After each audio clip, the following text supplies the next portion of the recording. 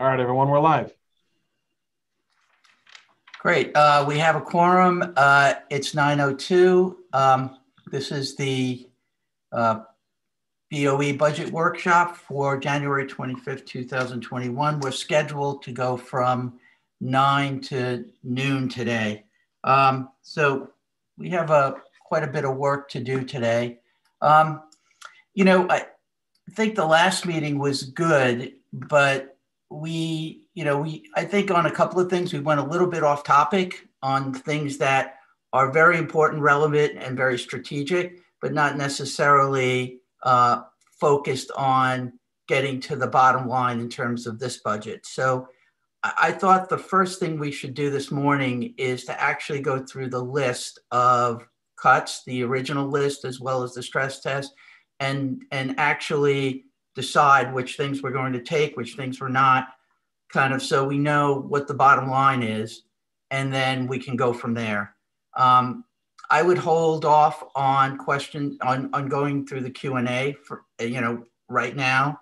Uh, I think that after we kind of regroup on where we think the bottom line is, um, we should probably have a discussion about where we're going to go from there. And I suggest that on on the Q and A responses that we focus on the ones that are probably the most most material uh, and not go through every every answer line by line. But you know, when we get to that, we'll we'll decide.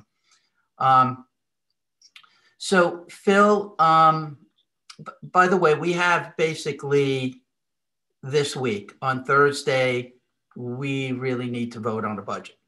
Um, so there's quite a bit of work to do between today and Thursday, but I'm confident we can do it within the meeting times that we already have on the on the schedule. Um, so Phil, do you want to you want to take it from here? I'm sorry, Tony. Are we talking about where we are currently? Yeah, the whole the whole list. Um, I would go top to bottom on the entire list to go through it with the board, make a final decision on which ones we're taking and which ones we are, you know, we're as a board don't feel comfortable with. Okay. Um, are we talking about, the, are we going to start from the stress test list or are we going, are we going from the, th- from the 544 through the 381? Okay. Yeah. All right, give me one quick second.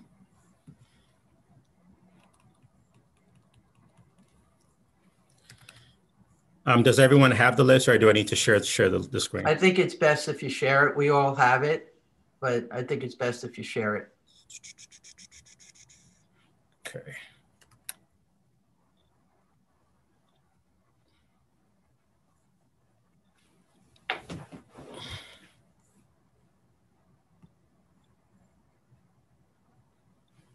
All right, can everyone see the screen? Yep. All right, so going from the top down. So starting out with salaries and benefits, we have a part- sorry, Phil. Does th- does this original list match what is on page three in the budget book? Just to confirm.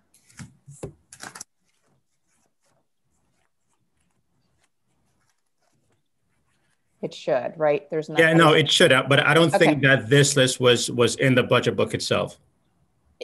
Um, it But it- was in an abbreviated version, so I Yes, just. yes, yes. That's that is what I'm correct. Yep. Okay, that's what I made my notes on. Okay, great, thank you. Okay. Um, first item up, reduction of one district-wide para-educator to be determined. Are we going to vote on each item or do you want me to We run? don't them? have to vote. I think we went, you know, we went through it unless there's, I mean, the- unless there's, unless there was an objection on it, we've, we've kind of gone through it. Uh, if any of the board members would like additional discussion on that, raise your hand. Otherwise, let's just move on to the next. So we're saying that we're accepting this one. I like, I just need to be sure what, because I know we want to vote to get a bit sense as to where Yeah. we are, Tony. Yeah, yeah, All right, so this is accepted, okay. Yeah. Reduction of 0.2 um, speech FTE to reduction of grade seven, including the math lab reduction at the middle school. I think this is the one where we had some questions on. Um, I, I will just start in terms of reduction in grade seven. And uh, So I, I kind of, you know, took the opportunity this weekend and tried to slice and dice the data a thousand different ways. And I and I looked at um, the student to teacher ratio in in middle school. Um, and i'm just looking at classroom teachers. So i just want to make sure that my data is correct. On page 94 in the budget book where you have classroom teachers per school um, this fte would have been considered a classroom teacher?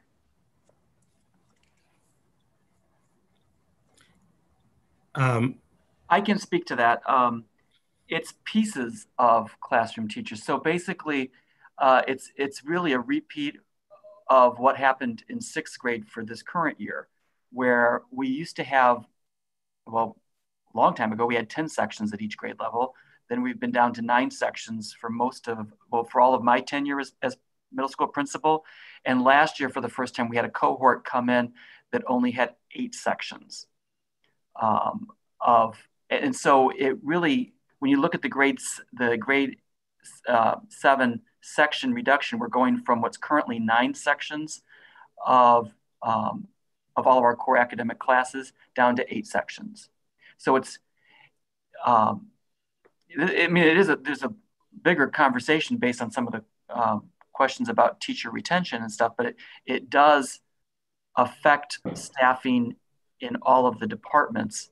Um, but when you combine it with our already reduced um, sixth grade, there's a way to still keep um, the staff that we need whole, but we would actually be losing complete people.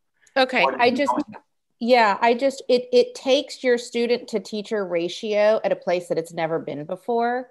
Um, you're actually at um, 25.3, so 25.3 students to one teacher.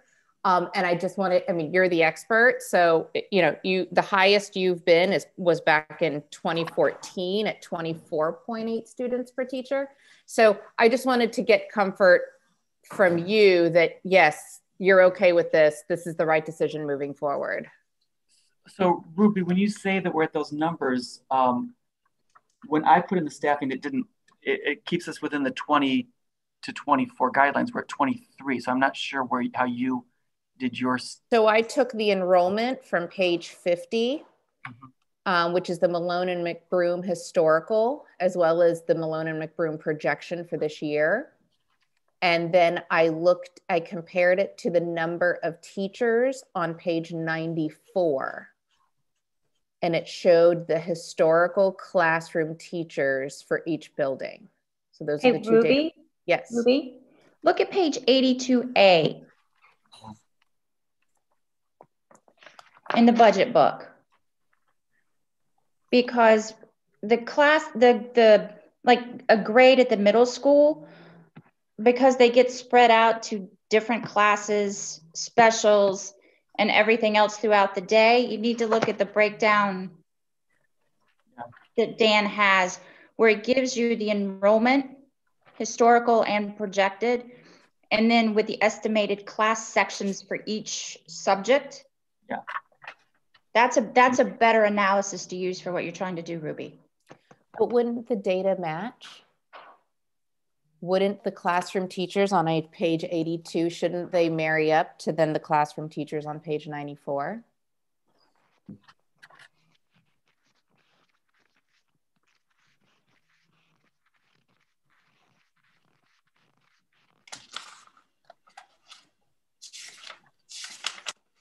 Phil, I don't know if you can help me with that one. I'm, I'm, wonder, I'm almost wondering, do, are we having a, a, problem with one of our formulas inside the spreadsheet, which has happened to me sometimes? Um, yeah, I would have to take. Keep in, keep in mind, project challenge is reported under SPED, not under the middle school, right?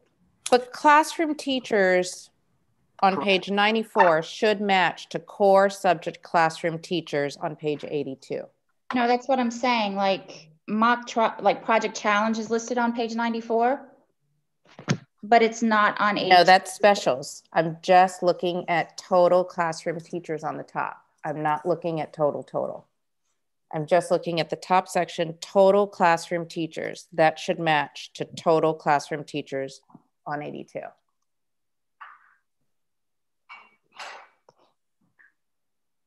Okay, so I I I, I don't. It, it does. So I can tell you, Ruby, this is the way we when we do the budget um, for staffing. We we take the enrollment projection Mhm. and we determine how many um, how many sections we need, staying within the guidelines of 20 to 24 at the middle school. And um, the way I worked it out in preparing the staffing budget uh, is the same I've always done it, and we are not going over uh, 24. There's one exception.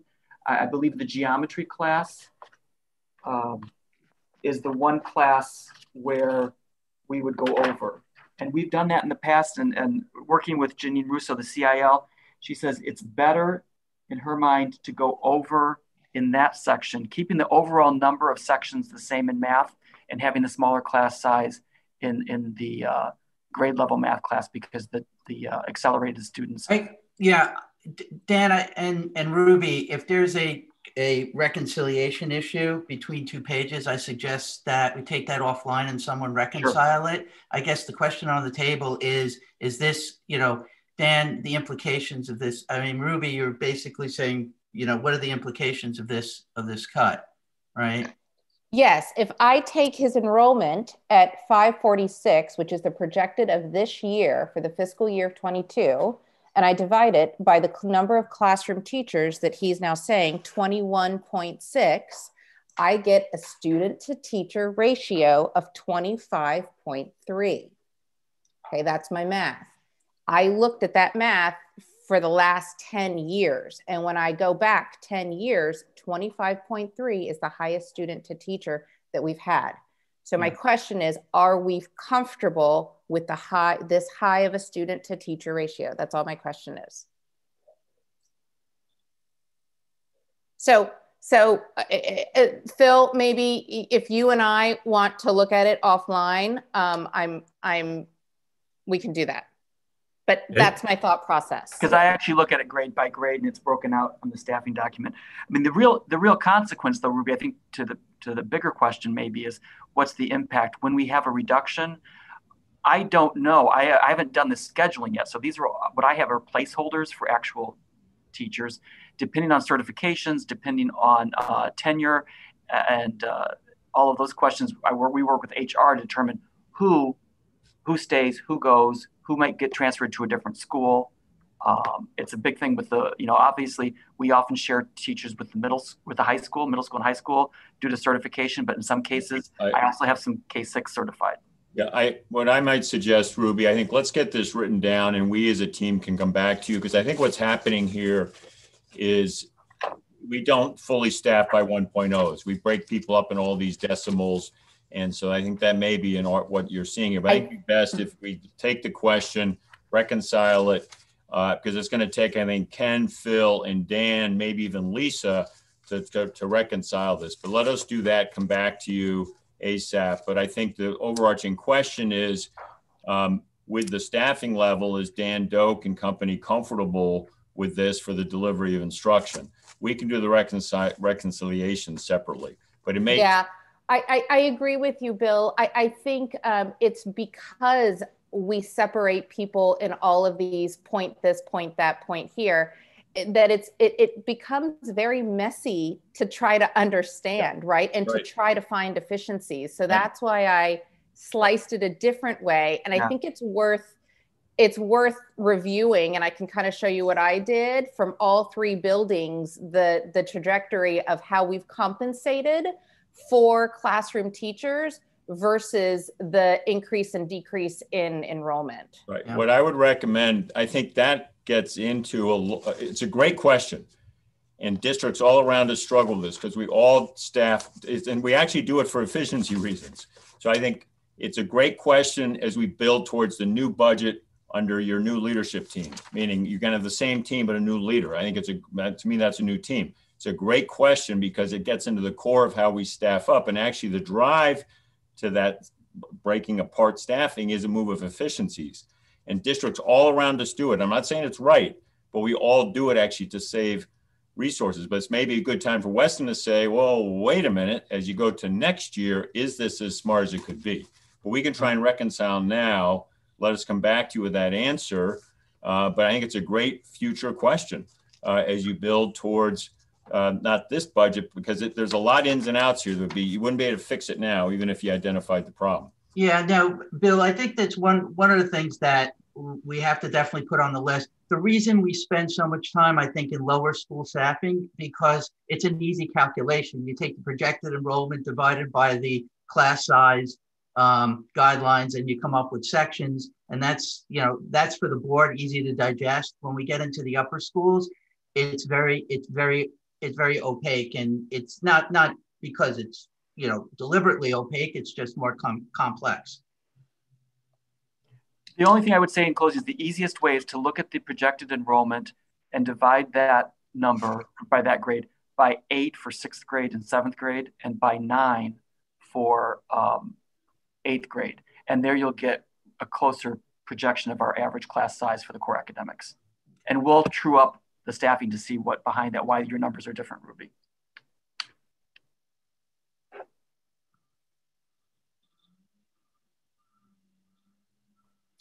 Okay, let's move to the next.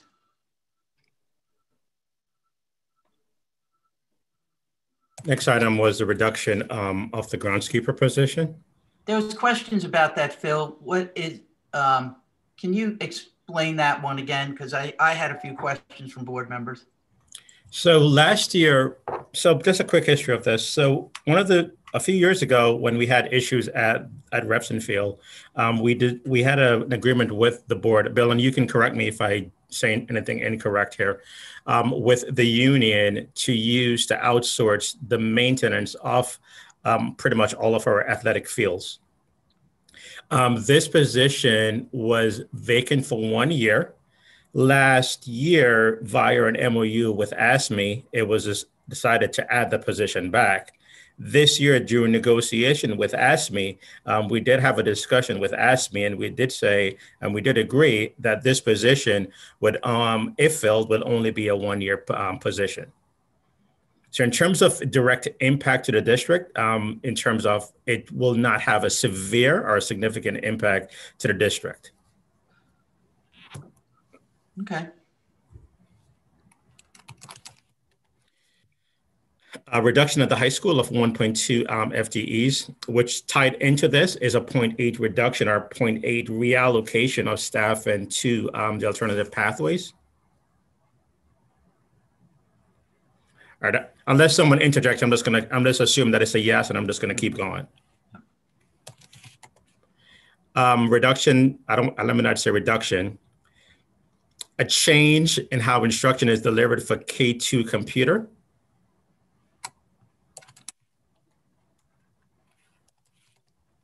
Uh, I can continuing to pause uh, K2 world language.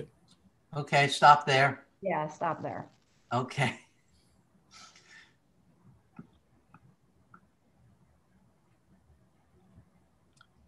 So I'm going to start.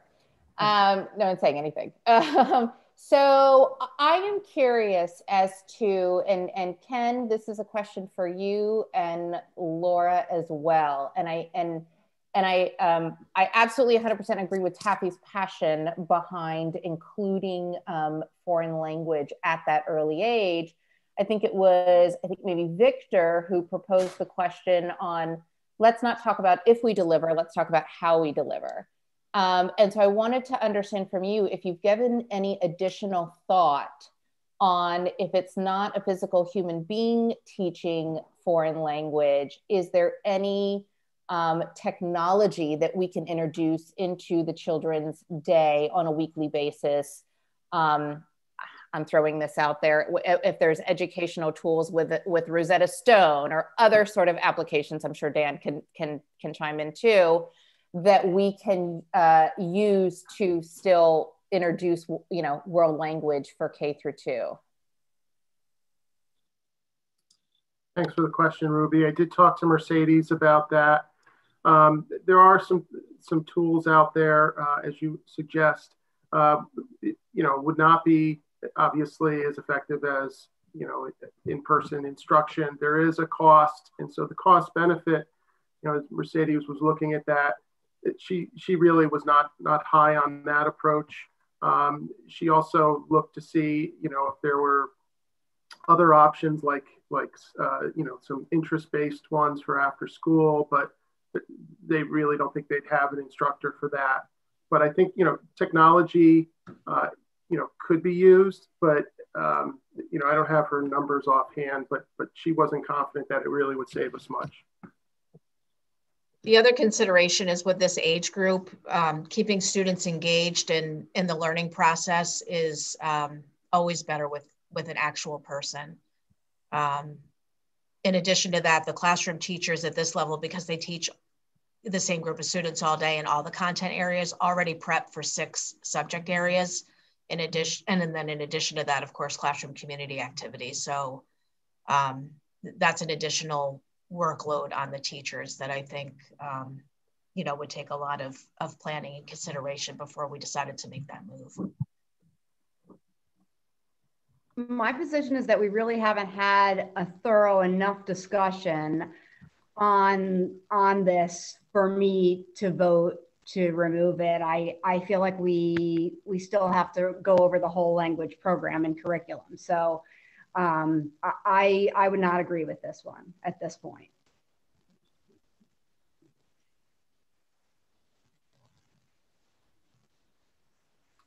We'll be prepared for that discussion in curriculum, Hillary. So we're, we're, we're getting ready for that. Okay. So, I mean, after that, maybe I'll feel different, but right now, um, I'm not prepared to remove it. Yeah. I guess um, you know, I'm going to throw out a thought question here for everyone to think about. Um, so if if if not this, then what would you remove?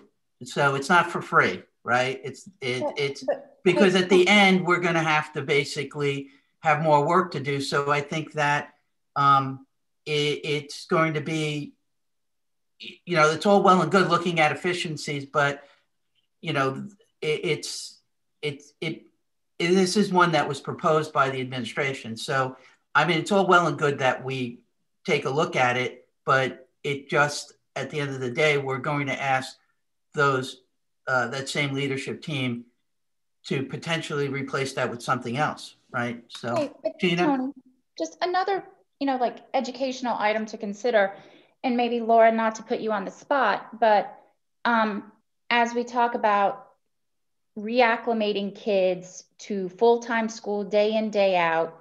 And i don't necessarily like the term catch up but a, a reevaluation and a releveling of you know what are the expectations of our children from an academic standpoint? Well, i am wholly in favor of having some sort of world language exposure. I recognize all the benefits to you as the expert in elementary education those few extra minutes a day you get back to focus on core education. Is there value in that for next year? Well there's always value to extra time for a content area and that's what we've done this year with the time. Um, you know an extra 10 minutes a day the teachers do use uh, to great benefit. Um, and and you're correct gina when we bring our all of our students back on a more regular basis next year and students who have not been with us this year um, there will be a lot of individualized instruction and releveling and um, working with students to, you know, identify gaps, you know, address those needs. Um, and at the at the early elementary years, and this is true at WIS too, it's all the classroom teacher, um, which is another reason I would not be in favor of, you know, another program or another way to deliver it. That would be the responsibility of the classroom teacher.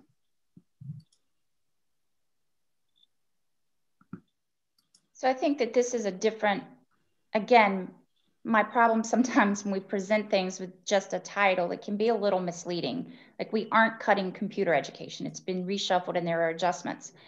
And while everybody on this board appreciates, you know, world language at the lower level, I think we also have to recognize the benefit that our K to two students may have from having some a little extra time on true basics for one year. Yeah, let me just process wise, Gina, just pick up on that. I want to make sure the board has, and it's in the public record, we did the additional explanation. So the couple line explanation for this one written by Laura did get to that. And maybe that's where you're picking up, Gina. It did say very specifically reallocate that time to core academic classes in the coming year. So that's now in the public record. in the reduction explanation document dated January 20th that's been sent around and posted. We should get it posted with this meeting to supplement, complement this uh, line item chart. I mean, for me, we're talking about $34,000, but it's so much bigger and greater than that. And we really haven't gotten any argument um, cognitively, I guess you could say, against it. And so, what I would say is, you know, and no one's going to like me saying it, but, you know, if we're part of a team, you know, we're working on 20% there's a whole 80% that that we don't talk about and you know if that 80% is really on our team. I would like that 80% to not just weigh in, but you know, put their put their, you know, put part of that 3% on the line and and come up with, you know, some contribution to this $34,000. I, I, mean, I, I see no reason to remove it. I've seen no data to remove it. Um, just because they need more time for me, like I think this is so much greater than that. So, you know, that's where I stand on it. Yeah, um, Taffy's not, is Taffy on? Hold it, let me. No, she had her staff meeting. Yeah, I mean, Taffy felt strongly about this. I, I think um, let's let's let's skip this. Let's put a. I mean, we're going to come back to this, right? Let's just put a let's just put a no on this for now, because it's not. Taffy was very vocal on this. It's not fair to even to to kind of vote without her on. So let's just put a no no, and we'll come back to this. Okay. Next items up um, are the stipends um, for the high school for athletics and um, for some other pro um, extracurricular activities. Um, I guess this is a. Didn't we have an uh, in the various documents? Lisa said some of these she's found ways to either have volunteer advisor time, and maybe that's the wrong term to use, or combining them or whatever, so that while we may be cutting the stipend, like these clubs or some version of them are going to be able to continue. Right. Can I clarify? Is that okay? Thank you, Lisa. please. Can you hear me? Okay. So um, I'm going to go through the list and I'm going to, um, there were a couple of um, uh, misinformation on the list and then we figured out a way to, to do it. Okay, it says Young Progressives Advisor. That um, was really only one position at 804 um, it was green team advisors is what that line should have said for 1608. You follow me? Then we have academic advisor 804. Tutoring on wheels, uh, Save the Children is 804. Those are all 804. St. Baldrick's advisor should have been just one at 804. Okay. So now I'm going to go back to the list of the ones that we are going to um, fund.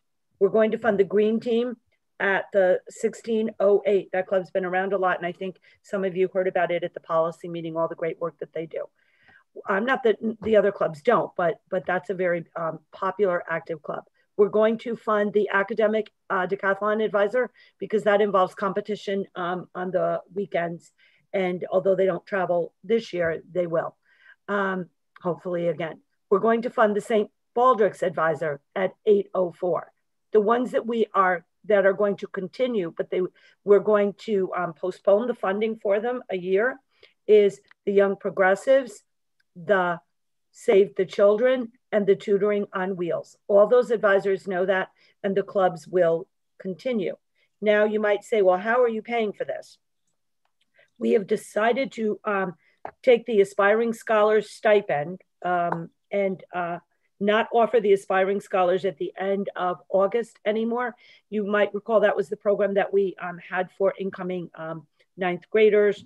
And um, we believe that um, one of the good things that actually I think can come out of um, our COVID is that we can emphasize what all of the ninth graders, not just a select group, need within our ninth grade academic team of teachers that really works on sending common messages regarding um, the, uh, the executive functioning skills, the working on Canvas and all of that. So with that funding, we propose to cover those other clubs, if I'm explaining myself clearly. Are there any questions? So Lisa, what does that mean? I mean, Phil, Lisa, what does that mean for the for the bottom line? I mean, The bottom- we have a lot of ins and outs here, but what what does that mean for the bottom line? For the bottom line is um, it's there'll be no change. So it's just a matter of ins and outs, and we'll just have to clean up the overall stipend list. So there's no change um, with over, so no impact. Yeah. And, and then let me, that corrected corrections that Lisa just gave you is exactly in the January 20th document that I'm asking to get posted now with this meeting. I just sent it to Meredith last June to post. So what she told you lines up exactly with the document from the 20th that we sent to you. And we'll get publicly posted. Um, if Yeah, I can can we maybe make, hey, Phil, can we maybe make a little asterisk reference that this list was amended in that document? Just because, again, having a flow for the public to be able to follow, when we have things changing in various documents, if somebody picks up one document, they're gonna look at it and think one thing, but it's not really what they're thinking. Yeah, I have to make a note on another, um, on, on another, on, on another, on something else. Awesome, Not really this one, but I'll make a note. thank you. um, with regards to athletics, I did ask Mark Berkowitz to, um, leave one meeting and join in case there are any specific questions about those cuts, because quite frankly, he is the best person to provide the information if you have any questions. Lisa, on the ones that you're postponing, what does that mean? Does that mean that the clubs are continuing Yes. and they're The clubs are continuing. Generally, we, this is, this is how it works. Clubs have to be in existence for a minimum of three years before we fund them.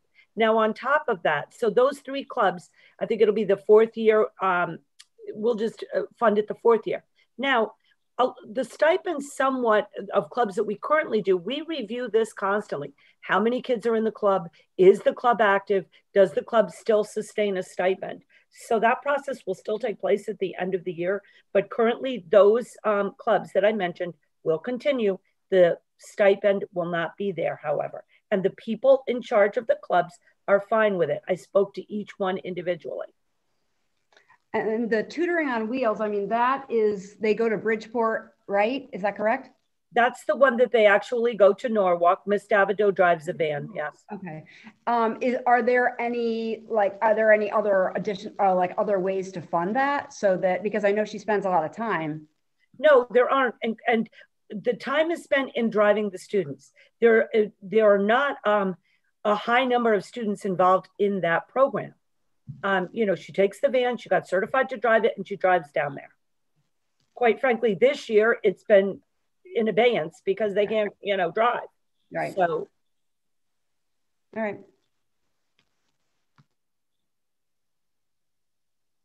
I have a bigger question. You know, on page uh, 123 in the budget book, that you know, uh, you know, Phil. I guess the question is, we have, if you look at the entire stipend line, 878,000, which is what we projected to uh, spend this year.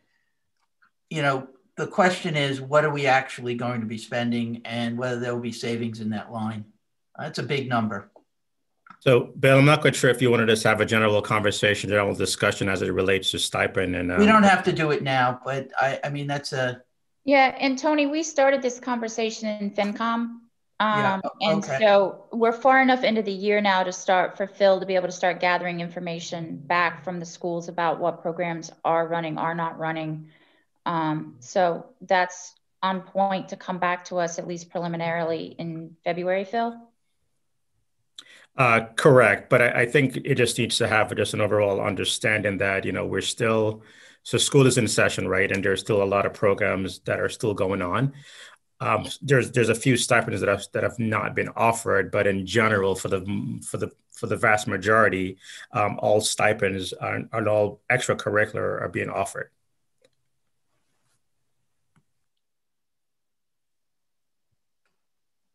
But at FinCom beginning um, next month, we'll we'll start to, to compile lists of um, any projected savings. Okay, thanks. And, and it may be important to note for all board members, as the negotiating committee knows, this, these stipends at some level are tied into the teacher's contract. And at each contract point, this is a discussion. So it's got a, a- several aspects to it. So work on it immediately, yes. I want to reiterate what Phil said because he and I talked. There's still a lot of activity underway, but he will bring back to FinCom most immediately? Are there savings? I think the longer term issue here is wrapped up in your contract negotiations with the WTA. Yeah.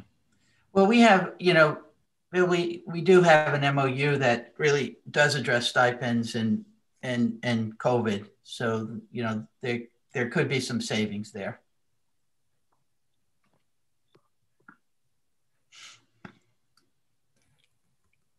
Okay. Um, so salary employee benefits just as has to do with all the ins and out in terms of the adjustment for staffing um, as it relates to health benefits. Mm-hmm. Next category has, to, as property services, reduction to rubbish, repairs allowance, roof repairs, contracted services, paving, and snow removal.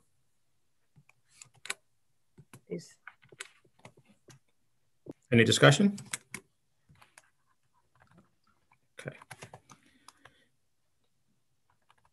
Next category, other services. Um, reduction in the sped allowance or contingency and the transition to e um, to alternative pathways.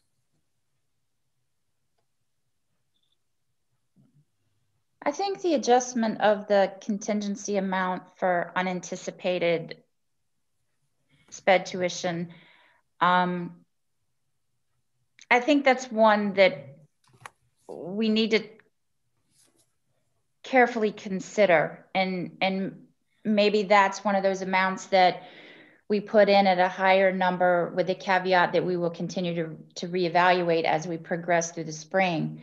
Um, you know, I, or, you know, have a very concrete vote definitive decision by Board of Finance to support in case we go past that number. Um, yeah. It is particularly, as we all know, um, COVID implications on the special ed realm um, are really unknown right now and the impacts they may have going forward. Um, so I just, I, I'm not comfortable with that full cut at this point. Yeah. I, you know, my recommendation is to leave it as is. We are scheduling to have a um, an executive session with the Board of Finance. Um, and I think that at the Board of Finance, um, we have to be very um, explicit about the fact that um, what that number means and that we, if, if the environment is such that we're going to basically um, overrun that number, we'll come back for more and get a commitment from them. Uh, I think this, my view is this has to be done in the con, you know, in in conjunction with the Board of Finance. Ultimately.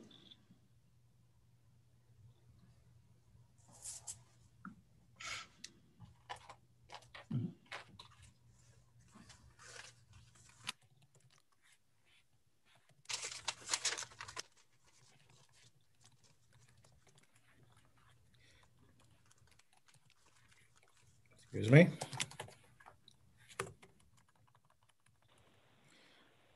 Next set of reductions um, had to do with equipment. Um, just required music, primarily music, um, and some other um, various items here. So I'm not quite sure if you want to go out on each one or if everyone has the list. I'm not quite sure how we want to do with this one. Actually, can I go back, Tony? Are you, I just want to clarify, are you saying do not take the allowance reduction or when you said keep it as is, what are we keeping as is? The original amount? Or, no, the what's on the page there. So the suggested reduction keep yeah. it as is. Yeah. Is that just to clarify? Mm-hmm. Sorry. Go, go ahead, Phil. Okay. Um, so Tony, not good church. Should I just go down each item, or I'll, I'll just. I, I would actually ask uh, if if there's any any any any item that um, board members want further clarification on or concerns with. Yeah, um, I'll ask uh, Dan. How many years now in a row have we denied the the music request for the middle school? Uh, I don't have that in my fingertips, but I can tell you that um, just generally every every year they feels get like cut. a lot, right? Every year they get cut for some of what they offer, but um, and Ken Crom may be able to jump in. Sometimes they're able to purchase um, from funds from uh, a summer program that they've provided. Sometimes we've gone to PTO uh, or other philanthropy to get some of the items. So we've we've mm-hmm. been able to supplement. Like I know that we've gotten cellos and stuff from our PTO in recent years. Um, it's just if it's a philosophical question. I think when you look at these uh, supplies, should we be budgeting uh, replacement and maintenance of our instruments as well as yeah. some of the other equipment? Right. When we look for places to cut, this has always been where we go. No, that's why I brought it up because it's it, you know it's I think it's painful to see this kind of stuff on the on the list. I mean, we we value our arts program, um, and you know, in the middle school feeds into the high school program, and you don't want uh, these children to not have the tools that are essential for their craft. Right. And remember, many of the parents um, will rent or purchase their own instruments. It's the it's the specialty instruments and the larger instruments that um, that we keep on hand as well as, you know, obviously some for the teachers as well. Right. And uh, we, in talking with Liz and looking at the, um, some, we don't have much uh, left in those summer uh, performing arts funds that we've generated from the summer programs. Uh, we didn't run the program obviously last year, but we can get the uh, bass in the cello um, with that funding here. So uh, I have asked Liz to um, put together a five-year um, suggested replacement plan that we can bring to either finance or curriculum if that's helpful to see the scope because it you know i mean we have used this summer account to help at times uh, probably more so than we have had items in the budget. So um, you know and, and obviously we do support our arts program uh, you know, Liz assures me we can run our programs next year, um, and we we will get that we'll get that bass and cello in another in another way. So on this list for the middle school and the high school, like I guess one question is what's sort of we'll call it tier one and tier two, and then the next is what are what can you cover, or or what will not get covered that is of a you know tier two. Is that an answerable question? Yes. So are you referring to music or, or this whole list? This um, whole list. This whole list. We, we, we have not tiered these items. We have paused, uh, you know, and, and held off on all, all new equipment. The project Lead the Way, I think as I mentioned last time at the middle school, where um, we actually started a discussion about whether or not, um, you know, either reaffirming reaffirming the project lead the way itself or maybe doing that program in-house given some of the uh, the recurring costs that project lead the way has versus having our own in-house uh, created program which obviously we always put our own twist on a program. Um, but we certainly are able to deliver the project lead the way program as we have uh, this year. Um, you know, so, but, but we have not, we have not taken this full list and tiered it. It's something we could, could do. Um, um, but, you know, one of the biggest items here is the recurring replacement of those robotics kits for Project Lead the Way. Um, I don't know if you want, I can speak to how we're trying to fund the items at the high school, if that's helpful. That's helpful. Okay. So starting with the high school CPR training mannequins, we are going to purchase them this year um, is my understanding. The cello, that's, we don't know what we're going to do about the cello. Um, I do have some ideas about that. Um, in the past, we have uh, sent out emails to the community about, you know, the school community. Does anyone have an instrument that they don't use anymore? We got a trumpet the other day based on that. But right now, we um, will have to work with Liz on that. With the um, the iMacs for the um, photography program, we approached the PTO. They're going to be discussing that on Friday. With the survey equipment for um, the civil engineering program, we're going to purchase that this year. We're going to purchase the new sensors this year. Um, we went through the budget to see, um, you know, what we currently have, everything else, if we could do that. And then the upgraded kit, we are asking the PTO if they would purchase half of them for next year, because what we really need is we need both.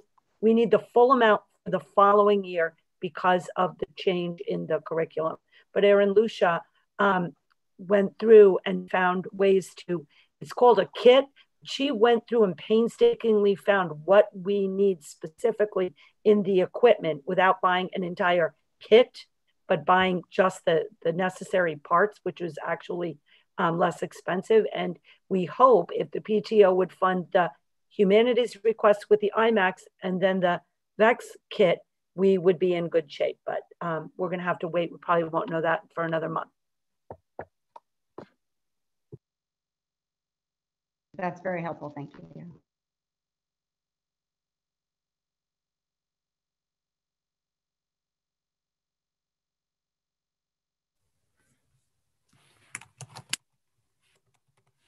One sec.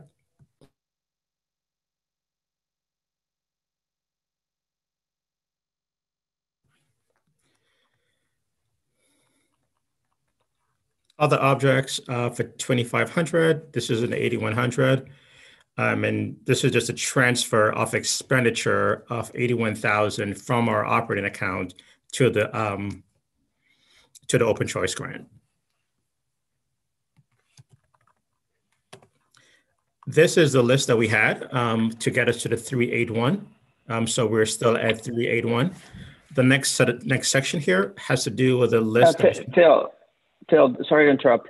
That's when I was a little bit confused on the open choice grant. It's it's a grant, but we're spending it, but it's a reduction. I, I, right. don't, I don't follow the no, that, that's okay, Victor. I, I wanted just to have a just a general public discussion um, as to the use of the open choice grant, um, just for our purposes, just so we make a decision, or the board should make a decision as to how they want to use these funds.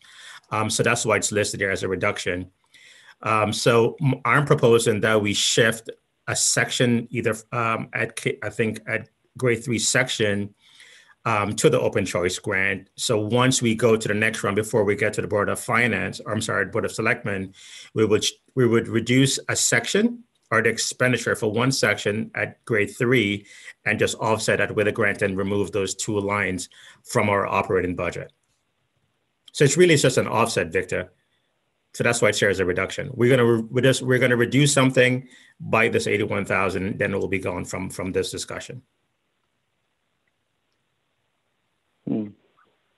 Not sure I followed, but I trust you.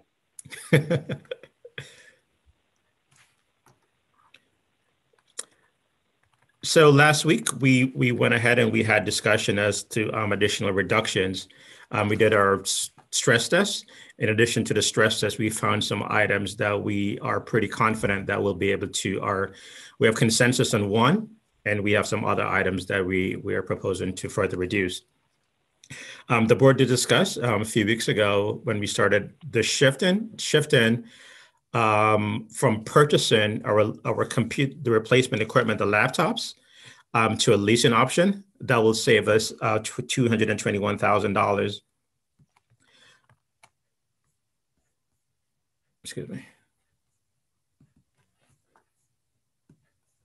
Um, in addition to that, we did discuss not funding uh, the internal services account from the operating account for dental claims for another year.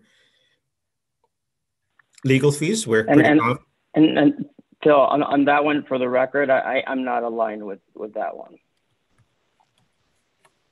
Can, can we talk about that a little bit? Rather than move on, is that okay, Tony? You're muted. Yes, we should talk about that. Yeah. Okay so I think that, you know, I would agree with Victor. I'm not comfortable doing that yet. And I, I wonder if maybe, I guess, Phil, you could go into a little bit of your rationale of why you're willing to draw down. Just, uh, well, you're willing to draw down for the dental claims on that right now. Well, well, really. So primarily, or let, us start out with, with why we would need to do that. So one of the reasons, or the main reason why we would need to do that is, is to get us to a budget that's, you know, that's that's a reduction, and we're not adding to the to, to the budget. So we all know that what if you once you once you take a recurring expense from a non-recurring um, revenue line item, at some point, that re- that expenditure will need to be funded by some source. For the past uh, two years, we have um, not fund the internal services account to deal with uh, to cover our claims. Um, for right now, in all indications, we will not be shifting um, away from the state partnership fund. Um, so there's not, not necessarily a need for us to continue to build up a, a reserve unless, unless um, situation may change drastically for us to do that. Um, based on discussion with Brown and Brown, there is not that indication that we will be shifting away from the internal services. I'm sorry, from the state partnership fund. So in terms of a reserve and where we would be in terms of um, ending balances, we will end this fiscal year if the trend continues. From a budget perspective, the budget is to end the year with approximately $760,000. Um, based on current trend, we are thinking that we will end the year closer to the 790 range. Um, so, in, and if we draw on that, we will still have money left in the reserve of over $300,000. So I'm fairly comfortable with with making this move for one year. However, um, similar to the um, the contingency that we have for the SPED, we do need to make a decision because we have to be aware that when, if we should expend all that money from the reserve account, at some point when that happens, it will be, or if we should no longer decide to fund, no longer decide to draw down on the reserve account, that it will be an automatic increase. For example, for this year, if we don't fund, it will be an automatic increase of roughly 0.8%. So just so I understand, so uh, basically what you're saying is that with our medical plan, we really don't have the option to self-insure anymore if we do that. Is that correct? Our current plan is with the state. That that option is always there. However, um, based on contract, it would have to we would have to reopen. There would have to be a reopener, so to speak, and we would have to have a discussion with the unit, and it would have to be a significant burden uh, to the district for us to make that shift based on contract language. Okay and provide a benefit to the employees. Uh, last year, we had looked at the reopener issue, and it was a, it was a non-starter on two fronts. One was economically, would it lead to enough to have the union agree? The union has to agree to reopen, or They can just say thank you, no. And the other is obviously in the context of COVID-19, whether it made sense to be shifting around on healthcare. Uh, so I would suggest those two issues are still front and center. Um, yeah. Phil is doing some of the digging on that larger larger question. Yeah, I the way the way I come out of this is that if we that's a reserve, that's that's that's a reserve that's ultimately the um, the town's the town's money, right? Um, if we don't, if we really don't need it, right? Um, it should basically be given back to the town and ultimately go to reducing the mill rate, right? Um, I, I mean, it's it's as simple as that. And Phil basically, you know, needs to recommend how much, if there's any, ultimately, how much we need to keep in there. But if we're if there's really no chance we're going back to the, you know, to a um, to a self-insured model for health insurance and the dental insurance, even though it's self-insured, it's it's pretty stable from what I hear from Phil. Then I don't see us needing that level, and I would basically propose to use it to um, to go against the the budget. I mean, it, it's a very. I mean, for me, it's a it's a it's a it's a it's a pretty simple decision if there's little financial risk from doing it. Yeah, and thank you, Tony. And I, I would I would add to that. Um, you know, I appreciate from a short term perspective why we're thinking about it, but but let's think it. Let's just play this out two years, right? In two years, if we keep on on the same path, you're stuck with it in the third year, having to fund it and and use the, using up the funds, right? So you're you're back to where you started at very shortly.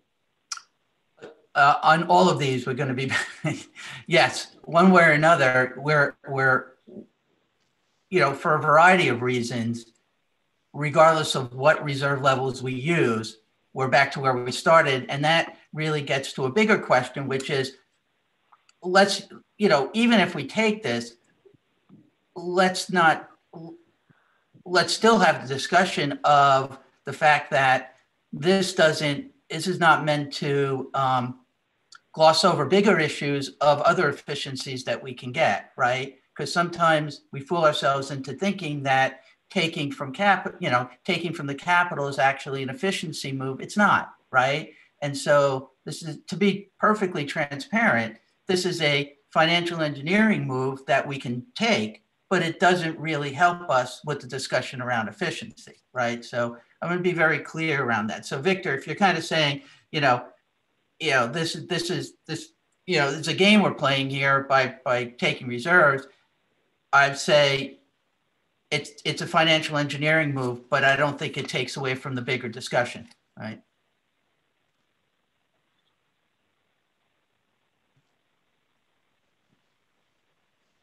Based on that discussion, I'm going to assume. I'm sorry, one more question about that. So you'll say you'll still have three hundred thousand dollars. Is that enough to then fund the Delta Dental? No, I'm sorry. I'm sorry. Just to clarify, Hillary. So we will end this current fiscal year with Right, close with 700. When we draw another year, where we draw for 22, we'll have 300 plus. Um, so at that point, when we enter or when we start discussion for FY23, a decision is going to have to be made at that point as to what we will do. Because at that point, we will only have enough funds to fund for one more year. That's right, okay. Yeah, I mean, I think for that reason, I, you know, we've got a we've got a couple things that we have on hold that we're looking at to see the budgetary impact. I mean, I I'm reluctant to take all of this this year when we know what that's going to mean for us next year and the following year, and I wonder if there's a way to to spread that out over the next few years. And the corollary with that would be to develop in our multi-year budgeting a way to fund our dental. Um, we'll have to budget for that.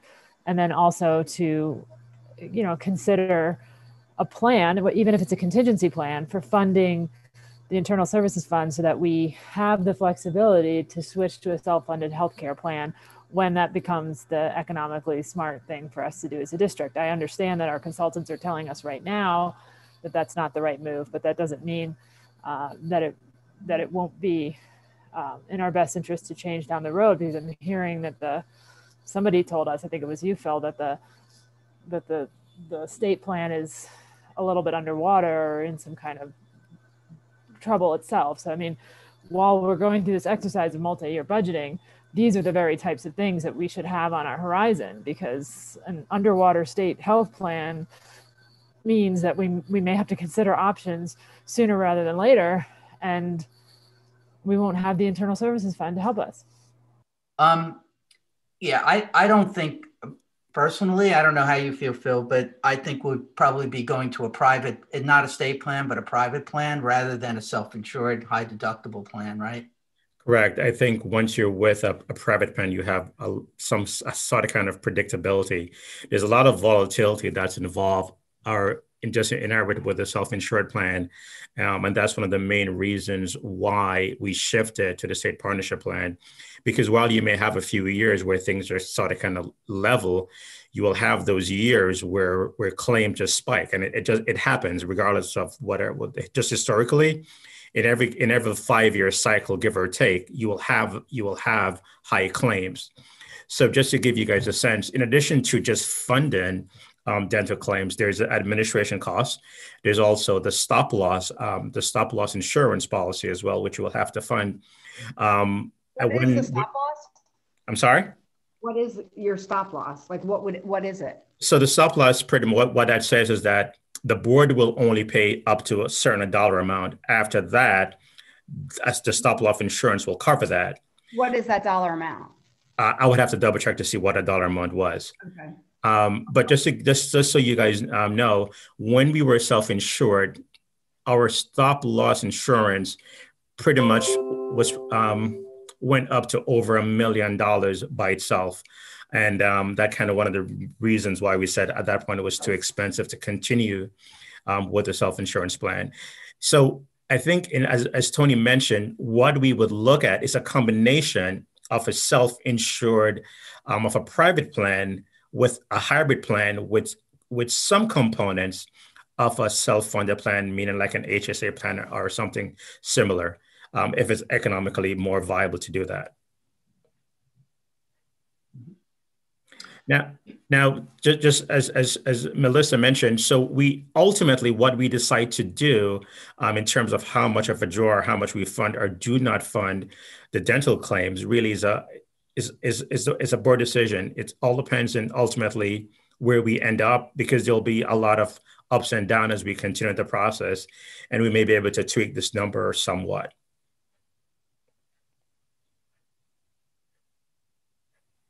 I, you know, I think practically speaking, we're going to have to come back to that one and and take. We're going to take. We're going to have to take some. We're gonna, I mean, I, Phil, I would put. Let's go back to it. I would put yes now, but with the caveat that we go back to that because I, I I'm just trying to be very practical at the moment. And then if everyone's really uncomfortable, we'll go back to that and adjust it. Okay.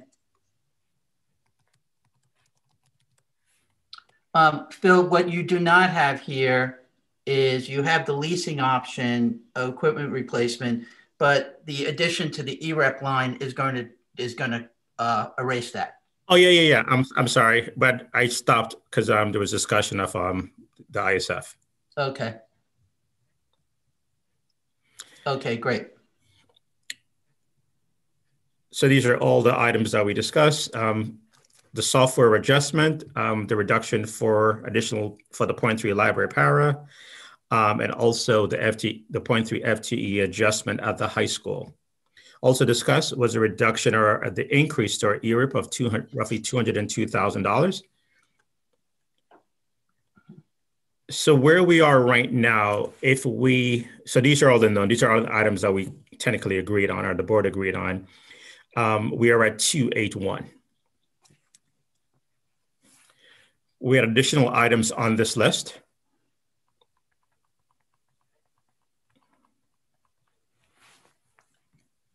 I think those we rejected outright unless anyone feels like it's worth any discussion. No, I thought the number the the twos were going to be rejected also. Yeah. All right. So with that said, um, we are at 281. Hey, Phil. Yes. Just a clarifying question. Um, if you scroll up, you have a reduction to our expenses of 81,000 for the open choice grant. But yes. we also I believe, have the 81,000 counted as other revenue.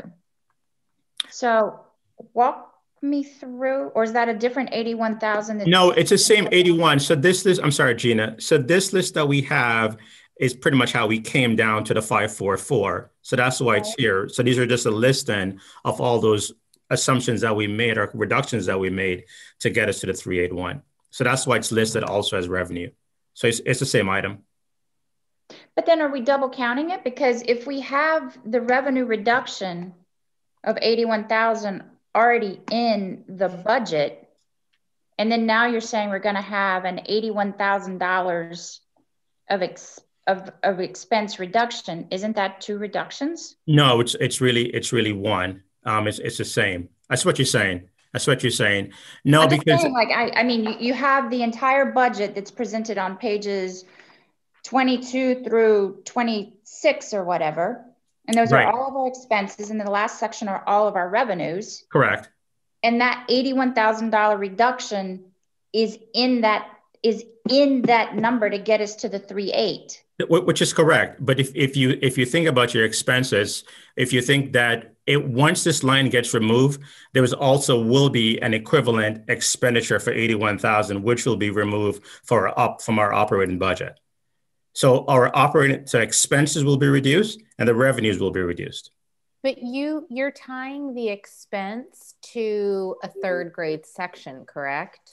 That's my recommendation, just because we have an increase there. But that that reduction can be anywhere in the budget. That can can we just because I agree with uh, both Victor and Gina on this this one line item. It's it's very confusing how you're listing it here. Can we mm-hmm. just keep this list pure to reductions only because in the end to gina's point it's a grant so Well, it's, it's revenue Yeah, I, yeah, I think it's got to be both. It's got to be, it's got to be the ends. The, the this is the net, so you have to list the ins and the outs.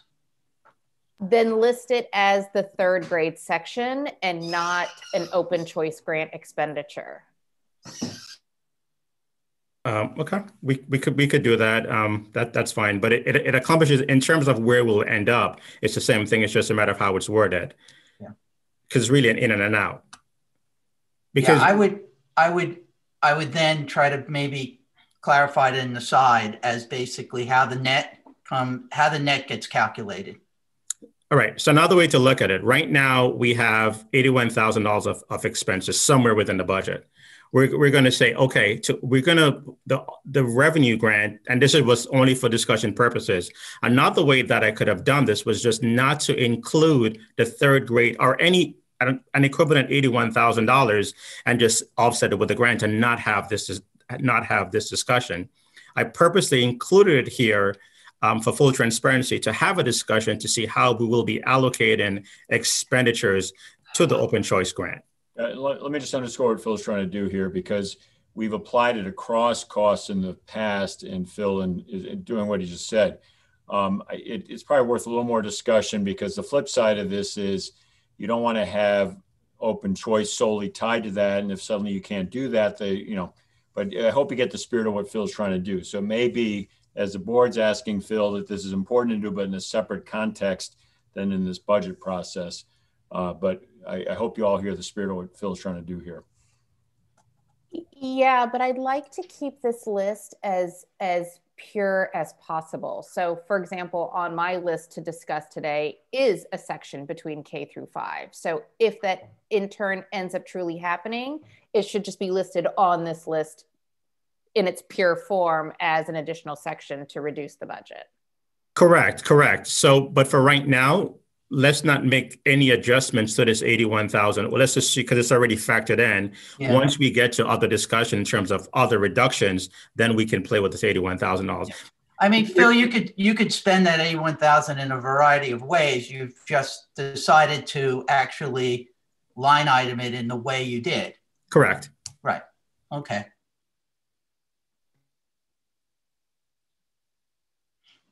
Um, I know that Taffy's here. Welcome, Taffy. Um, uh, Tony, did we want to go back up to um, language for Spanish for K through two, just to um, confirm what we're doing here? I know we put in, it was tentative. Yes, Taffy, I, I- you weren't here. The rest of the board was, was about to really get, you know, get rid of uh, K2 language. And I, I said, well, wait a minute. No, Uh, we weren't. No. for the record, no, we were not. I'm only Um, kidding. I'm only kidding. Go ahead. Uh, uh, please tell me it was the opposite. Uh, you know how I feel. I don't need to reiterate it. Where do you guys want to go? I think we kind of decided we we let the curriculum committee hear the re- report, um, you know, through the curriculum committee, and then and then circle back on it. So we we put it. We've in already a- done it. So we've had the discussion with the curriculum, and there is pretty much, um, I mean, we don't need to vote in curriculum. There was a very, very strong argument for keeping this in and not touching it. So if you want to go ahead and take that off the list, Bill, um, I think we're good at curriculum if you are all good here. Yeah, take it off. The, Yeah. meaning, take the cut off the list. Take the cut off the Off the list. We don't need to go back to curriculum to discuss this. We've, we, we, I mean, we'll be having the same discussion as we had last time. So I don't think, I think it's a waste of time. Let's be efficient. Okay. Yeah, yeah. and Can I just add one thing to this? Um, is I- I think because now this is the second year in a row that this has been on the chopping block. I think we need, as a district, to make a commitment that it will not continually be on the chopping block, and that we are committed to infusing Spanish or world language in the K through two area. It's just a, Yeah. a com- the conversations just need to morph around how we're delivering it, not if That's what we delivering it. discussed. Yep. Okay, We did so- discuss that last time. Um, so that will come back to curriculum. That discussion of how Okay. we deliver it as opposed to if we deliver it, we'll come back to curriculum. Right. I'm just throwing out the challenge for future that it should not, we should not still be seeing it on a yearly basis. Correct. Thank you, Ruby, for reiterating that. Uh, and sorry, with- with I that- sorry I joined late, everybody. Yeah. With, with that, um, I just want to take a minute to, to just uh, a sanity check on where we are, right? So we started with 381. We went through the reductions that gets us to what? Where are we now? Uh, We're Phil? at 281, I think.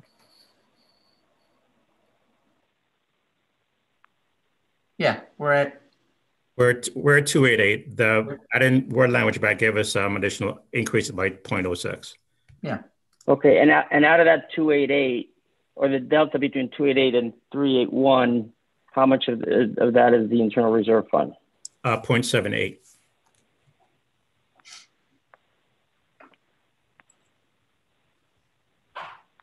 But that that- I also think that- only having 150 for special ed, which Yeah. is, I think, a concern. Yeah, we have 150 for special ed. Which What? which Tracy was not Tracy was not Mhm. totally comfortable with, right? So, Well, I think we have to move back to some of the other bigger, bigger Yeah. budget items. I mean, this list, and this has been a helpful list and it's been good to go through it, but yeah. I think it's time to go back to the book. Yeah, I think it's it's um I think we're we're I think this is where we are. Um and I think there well maybe uh like to hear from the board members before we go further in terms of what their thinking is, where we should be, what their feeling is in terms of where we should be heading. Um also I'd like to hear from the leadership team as well. Um, but maybe if I could start with some of the other board members in terms of what their view is on where we should be heading next. The view on the number and where we should be heading next. I, don't I feel like the numbers are relevant. I, because again, I don't, Well, Ruby, it is, yes, I, I think it is, but the number does indicate, the work that we did to get here does indicate what we've, what we've addressed and what we haven't addressed, right? I- I That's what I, that's what I meant. good because i i, I want to be clear we we do a budget every year not for cost cutting purposes. Businesses nonprofit profit whatever they do a budget every year so that the board can understand how the leaders are thinking about their business right? And so when we go through each section we understand how the leadership team wants to run their particular business. It's not just an, a, a like constantly where are you cutting here? Where are you cutting there? Where are you cutting there? So yeah i agree with you. Now let's go into uh, you know some some discussions in other areas Who wants to start? Um, I can start. Yeah. Yep. Um, you know, I think, I think we're going to have to look at some some bigger issues here. I think that this is a this is an important year for us to get the budget as low as possible, not just because it's in the best interest of the town and and and the schools, but because it sets us on a path for the future for having um, a- low baseline budget that when times might be more positive or we have a strategic plan from the district that causes us to reevaluate some method of devel- delivering education or some innovative educational measure that we want to adopt that we have the framework and the ability to do it. So i think it's i think it's really incumbent upon us to get the budget as low as possible. Um, i spent a lot of time this weekend looking at um, enrollment and our um, predicted enrollments from past years are current enrollments and past enrollments and our staffing. And you know i i see large decreases in enrollment from the past 10 years. And i see virtually no um, decrease in uh, in staffing. I see a a large percentage wise a large decrease in clerical staffing. I see that that's something that we've reduced, but in terms of of um, administrative staffing has actually increased and the teacher certified staffing has um, stayed relatively the same or increased slightly at times. Para, the para staffing has also increased over the past 10 years. So, um, you know, those numbers are what they are, and that's what we have right now in our district. But I think that this is an opportunity for us. And one of the questions posed was, you know, our hiring strategy, our retention strategy, all these things that, um, you know, and I, and I was a little disappointed in the in the answers that we received in the in the budget Q and A uh, document. I don't feel that there's a real um, hiring strategy that kind of speaks to the Weston excellence. Um, I think we have an excellent teaching staff and an excellent um, staff in general here in Weston, but we want to embrace that excellence and continue to require that excellence through all steps of the hiring process, retention process, and make sure that we're making smart choices about our staffing. Um, and I think we have some hard decisions to, to make um, in the present, but I think we really need to set ourselves on a path. You know, what are the needs of the lower schools versus the upper schools in terms of what type of um, hiring decisions we're making? Are we looking at um, how much seniority is valued in, in, in these types of positions? What are, you know, how, how are we exploring tenure and, and those types of decisions? So, you know, I, I think we need to look right now at, um, at staffing, unfortunately. Well, I would say, Melissa, I mean, you're, you're right. Like if you look at net teachers, like people can think that we haven't reduced. But I think when you get down into the details, you will see. I mean, I only went back about eight years, but um, a lot of the increases we're seeing that's causing like not necessarily a huge adjustment on the total line, but yes, our teaching staff, like regular classroom teachers, have been relatively flat but we've had drastic increases in academic support, student support, paras. So I think as the evolution of servicing our students in-house, we've hired more people to accommodate those needs. So I think we've got to be careful just things staffing as like teachers. We have to break it down into the various components and really look at how we're at the evolution of the services provided by this district to its students and how we've staffed accordingly in order to reach that point. I, I think that's right. That's exactly right. We, you know, this is these what we have is what we have now. I think what we have, what I'm, what I guess what I'm trying to say is, I think we need to be really thoughtful. Right now, we're at a point where we can set goals and and have a, a, strategy going forward so that we're not finding ourselves in this in this position.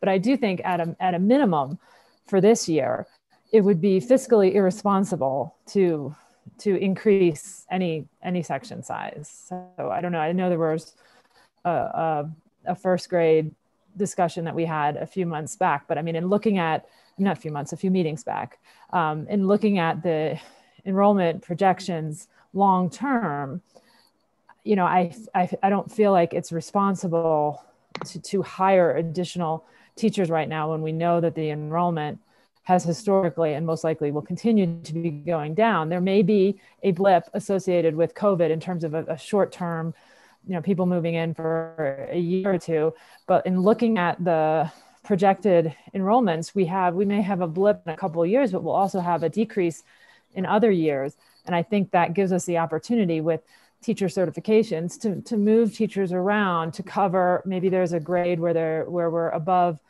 guidelines for a year or two or, you know that's fine or maybe there's a teacher that a grade that is you know that does not have as high of an enrollment in that but, particular year that that teacher can bump down to another. But, just, Melissa, you know, one second, uh, one second. Let uh, one second, Lisa. You raised Lisa. Lisa, raise your hand. Yeah. And um, I, I, just want to speak to this to the certified staffing and and please other principals if you want to want to join in.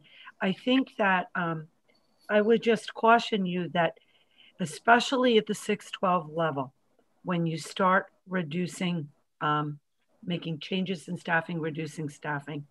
The idea of tenure, certification, where these people go can really have um, a very challenging adverse impact on the school. And I can give you an example.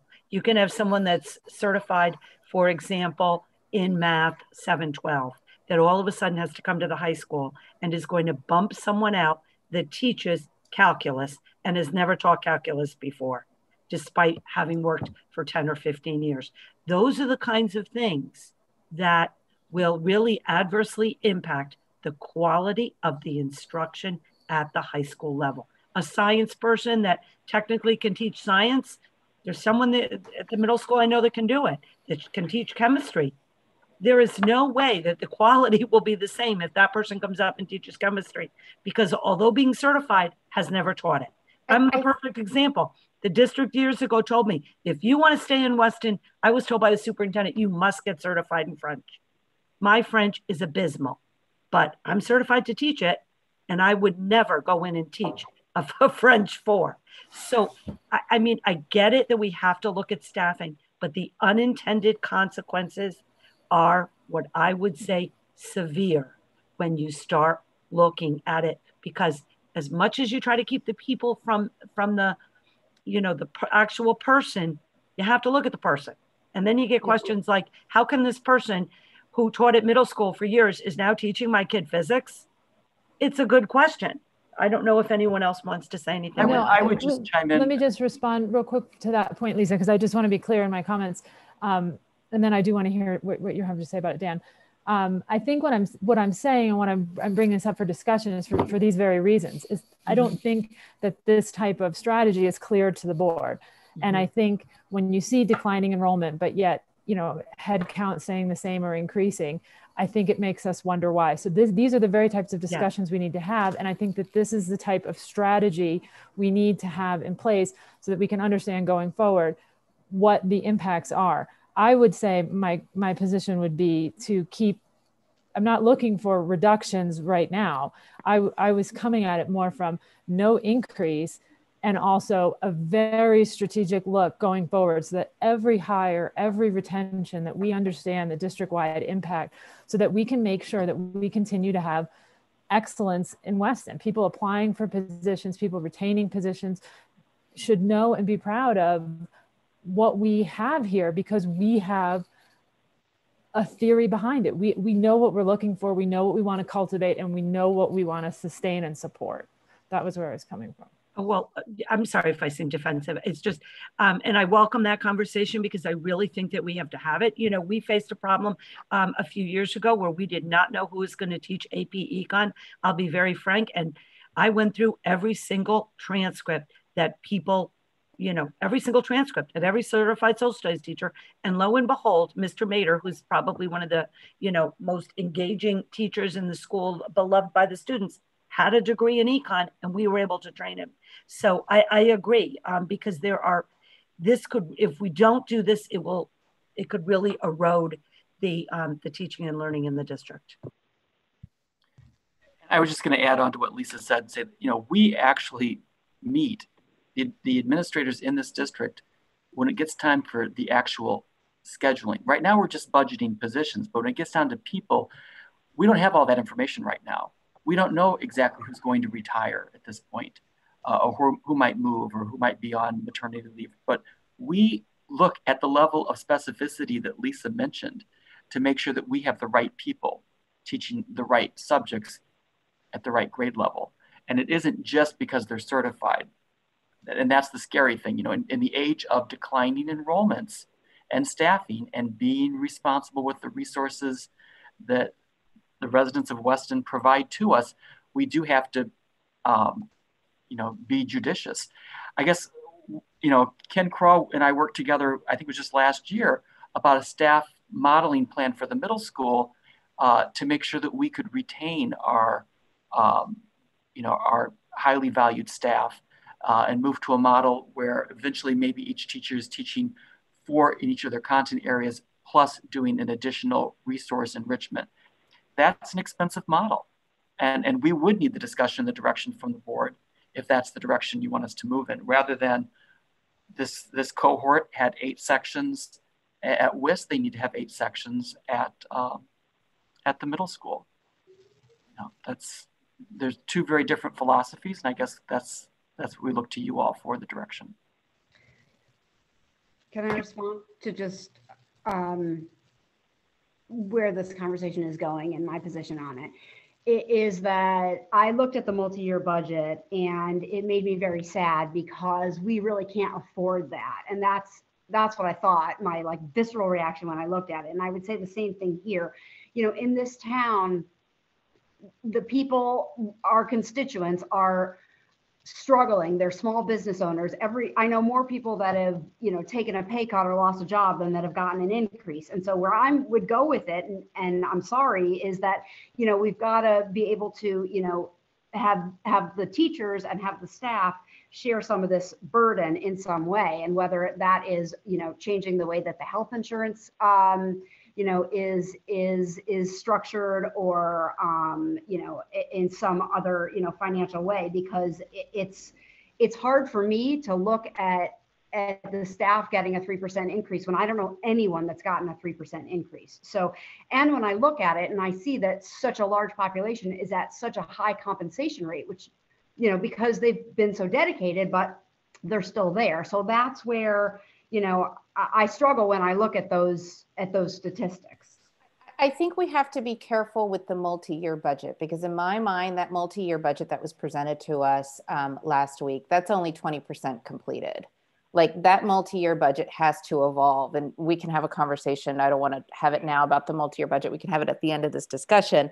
But I think I, I, I think though back to Melissa's point though it's it's twofold right? It's it's it's the strategy on hiring um, staff going forward and then and then how we're positioned today. They're two very different conversations. Um, i i want to focus just in terms of uh, finding efficiencies on how we are staffed today. Um, and if it's okay i'm just going to go straight to k through five um, and talk about that. And, I, and I'm not going to look by school because honestly, Laura, Patty, you guys are the experts. Uh, who am I to, to judge whether or not we need, you know, X number, you know, of sections in the first grade versus third grade? I just wanted to look holistically of K through five. And when I look at elementary or what's regarded to be elementary nationally is K through five, is our enrollment since 2014 has declined by 11%, right? It's the, it's the one section that has the most volatility, it has the most migration, et cetera. Every single year, year after year, we have decreased K through five. We started at 1,000 students in kindergarten and we're ending at 888 for this year. Next year, we are projected to lift by 2%. We are projected to increase by, by what is it, 22 students. That's a hard pill to swallow for me, especially because we have declined every single year, year after year. Um, I pulled up other enrollments. Westport, they're projecting a, a down 1% in enrollment. New Canaan, they're projecting down 2% in enrollment. So I think this is where we we have to talk about we need to figure out enrollment. We need to stay status quo in between you you the, the buildings. I mean I, i'm assuming the teachers are certified k through five. You have to figure out what is the most efficient way to operate with current teachers. I also will bring up because it, it you guys i can share my document with you. When i slice the data a different way this student to teacher ratio that i keep talking about we are at the lowest that we've been. We are at, if you take the number of students divided by the number of classroom teachers, we are at 20.7 projected for next fiscal year. We were at 21.3 back in 2014. So again, there is room for some efficiency there. But again, I would leave it up to you to figure to to to move and groove around, but I, I, I do not think we should be adding an additional section in the K through five view. So Ruby, you're right. We, uh, we hire, you know, every year we obviously our teachers have to be hired certified K6. um, K5, K6. We look really closely at, we share, Laura and I, we, after we finally get our enrollment numbers and we move teachers between buildings, you know, um, every year. I mean, or almost every year. So we are really efficient that way. Our numbers are built purely on what is projected for us to have. So last year I went down one section in third grade because I didn't have eight, you know, so um, projected, I'm going to project to go down one section in fourth grade next year because my numbers, I still, according to the projection, I'm at 22.6, almost 23 in every classroom in fifth grade. 22.1 in fourth grade and then the question i guess is the is the third grade um, and because so many students went out for the homeschooling i think that that's really where the question is um, so, I mean, our, our really our staffing is purely based on enrollment numbers. No, I, I, I hear you, but I, I think that be, because it's the it's the first grade and third grade conversation. Mm-hmm. Um, I'll, I'll, say it out loud. I, I do not agree with Milone and MacBroom's Milone and MacBroom's projection for next year. I think it is inflated. So therefore, my personal recommendation is that we stick with uh, I think those two grades, 43 sections versus the proposed 44. You know, this and it is up to and it is up to the two. It's up to you guys to figure out based on enrollment how that shakes out by grade. And so then, what happens if it turns out since those unusual spikes we're seeing this year do include they are projections of homeschooling students coming back in, potentially students who left to go to private school coming back in. I fully agree. I mean, we're we're in a unique year. Um, but what happens if you have the return of those students back into our district and we do meet that projection? Plus two percent. And on that note, and on that note, can we not get some of that data? Like uh, Patty and Laura, can you call parents who have elected to go homeschooling and say, what are your plans? I mean, we don't have to guess, right? Right. We've already been doing that. I have a survey out yeah. to um, the current students. And for example, uh, we don't have all the responses yet, but I already know of 11 incoming first graders for next year based on that survey. Yeah, they're coming. They're coming back. Right? They are. We, the Q and A. We since the last meeting, I talked to Mike Zuba. I went back, look at page four in the posted Q and A, question number seven. I mean, you as a board will have to decide, but we have gone in and reanalyzed those numbers. We, we corrected the historic data, Ruby. And even with that, Laura, Patty, and I, with coordination with Mike Zuba, still feel his projection is a good one because he's factored in that return. But it's all laid out there on paper, page four to five. And obviously, you'll make your decision. But I just want to be clear that since the last workshop, so to speak, we went to work on this exact question. How accurate is that projection? Um, so just know that is very current analysis in that document, the Q&A document. Yeah, but Ruby, I guess the, the, the bigger question is, are you really saying this because you don't, you somehow, we don't um, feel that Milone and MacBroom is going to be accurate over the next year, which I agree, but I don't know which way they're not going to be accurate. Um, or are you saying, you know, eh, you know, we we are if we're if we're wrong, we're going to be living with an average class size that's over the guidelines. I mean, I, I mean because that's the only way you're going to get the efficiency that you want. Because I quite frankly, if we're not, if we do get the 30, the 20, we're we're back to adding a section or not. I mean, what's the real what's your recommendation though there?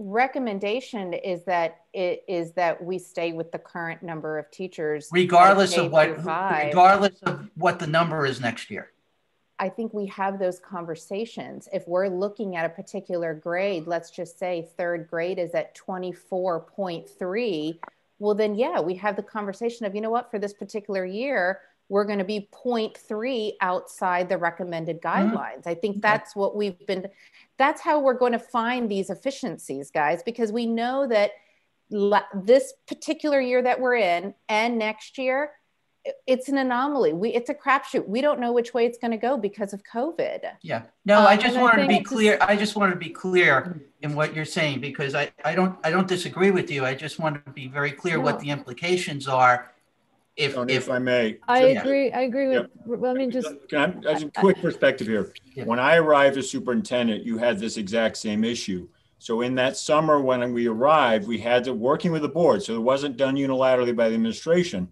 But at that exact conversation, do you add sections or not? Do you live with higher class sizes or do you add sections? So this board working with administration has that exact history of doing that. You set it now, but if you have to adjust later, you adjust later. Then the board decided yes. So then that was about a two hundred and fifty thousand dollar gap that the board had to figure out how to cover in that first year. So I just wanted to connect those dots. Yeah, I mean, here, yeah, I would, so, go ahead, Melissa. no, no, no, please, fin- fin- go ahead. Judy. I guess I my, just wanted, my thing on this is, um, at the elementary level, let, let's put middle school and high school in a different bucket, but at the elementary level, the most critical thing in successful education is a small number of students. You want well-qualified people and you want to give them the tools, but ultimately, the, the smaller the class, the more successful the educational delivery is going to be. For years, Per- this- particularly at the young, particularly at the I'm younger talking, ages. I'm talking purely elementary. I mean, fifth grade maybe starts getting a little bit more on middle school levels, but whatever. This district has maintained its classroom guidelines to try to do its best as a public school to provide that level of personalized instruction that is necessary at those younger ages.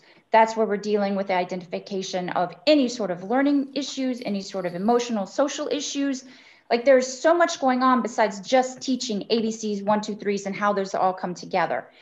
And I, if you make if you make the decision to cut the section now, and then it turns out three months from now, you see that these people really are coming back. You see that we really are sitting there like, holy crap, we do need this section. It's very difficult to add it back in. And what happens is you get the boomerang the following year, you get slammed with that, that delta that we didn't have in our budget. And every year, our principals at our lower schools will adjust and shift teachers amongst grades, and they do reduce sections when it makes sense. As a Board of Education member, I am not on board exceeding our guidelines. They're there for a reason. We've talked about it like ad nauseum about the benefits of having a smaller number of students in a classroom. And to talk about taking it away in a year in which we are going to be reacclimating younger students to being in a classroom for the first time and putting extra pressures on the teachers in that year is difficult. The other thing is you have to recognize, and the principals have to guide us on this, different cohorts have a different level of need. Some cohorts, maybe you can manage with a slightly bigger class size. Some cohorts, just because of the mix of students, you need to be respectful that that cohort has extra needs and requires a little bit of extra staff. As a Board of Education member, I fully respect the need to be efficient with our resources, but not when it comes to sacrificing the very core principle that, that this district sits on.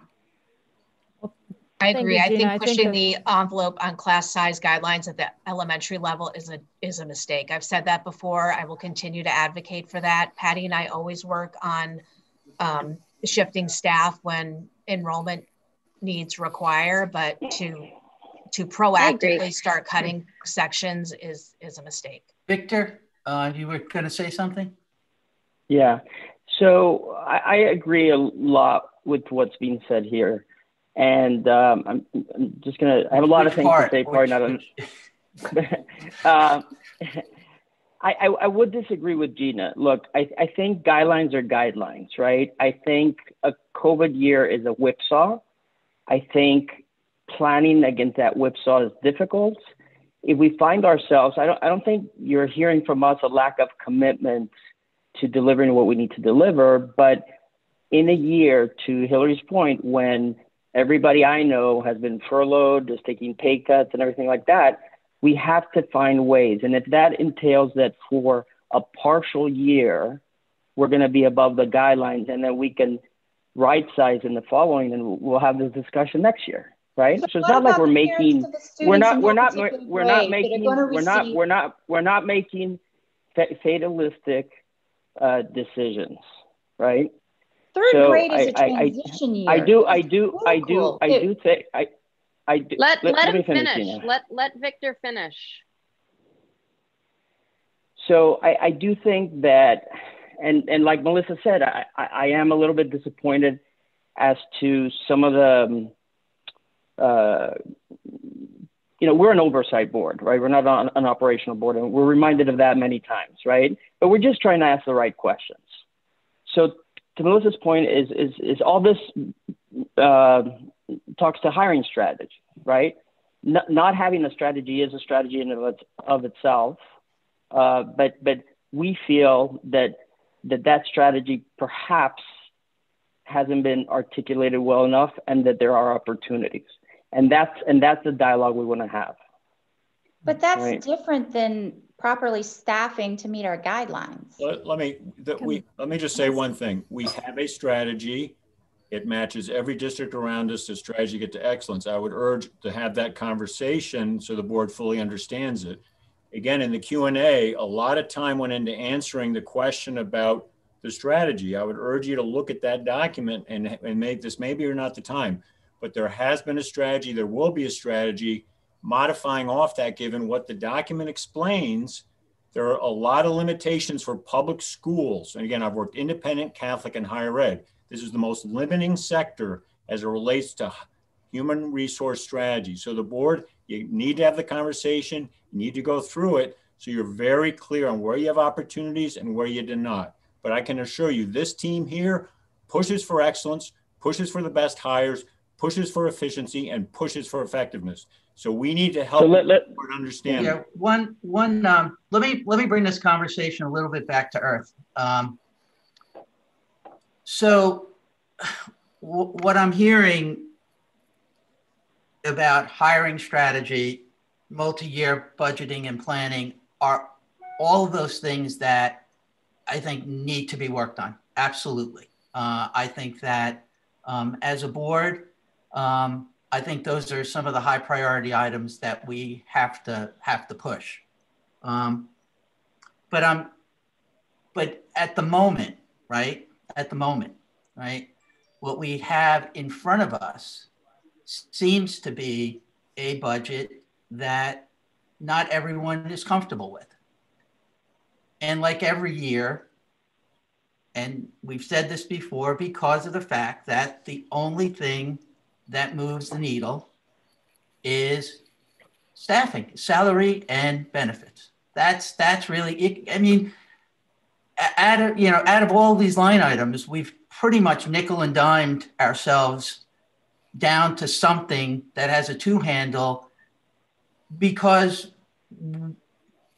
it's very very difficult to make those decisions around staffing without the guidance of, of the leadership team.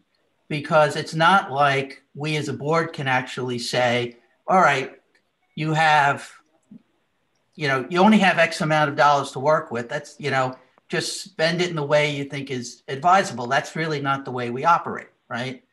So while i want to take the issue of affordability ultimately which came up uh, with hillary which is a discussion we should be having, but also more importantly, a discussion the Board of Finance should be having about affordability. Um, we have to keep that in mind as well. Um, you know, I, I think that the place the discussion really is evolving to right now is that unless we want to approve a budget as is, the only place that to go next is the staffing discussions. And I don't and I don't think it's it's it's it's you know, it's salary and benefits, right? And I don't think it's necessarily, you know, what Ruby said, although that's something to be discussed, you know, in terms of looking at K to five sections, but it's, but it's, but it's broadly that, that category of staffing. And, and I know that a lot of work is done in terms of making sure that we protect the programs which we, which we pride ourselves in Weston.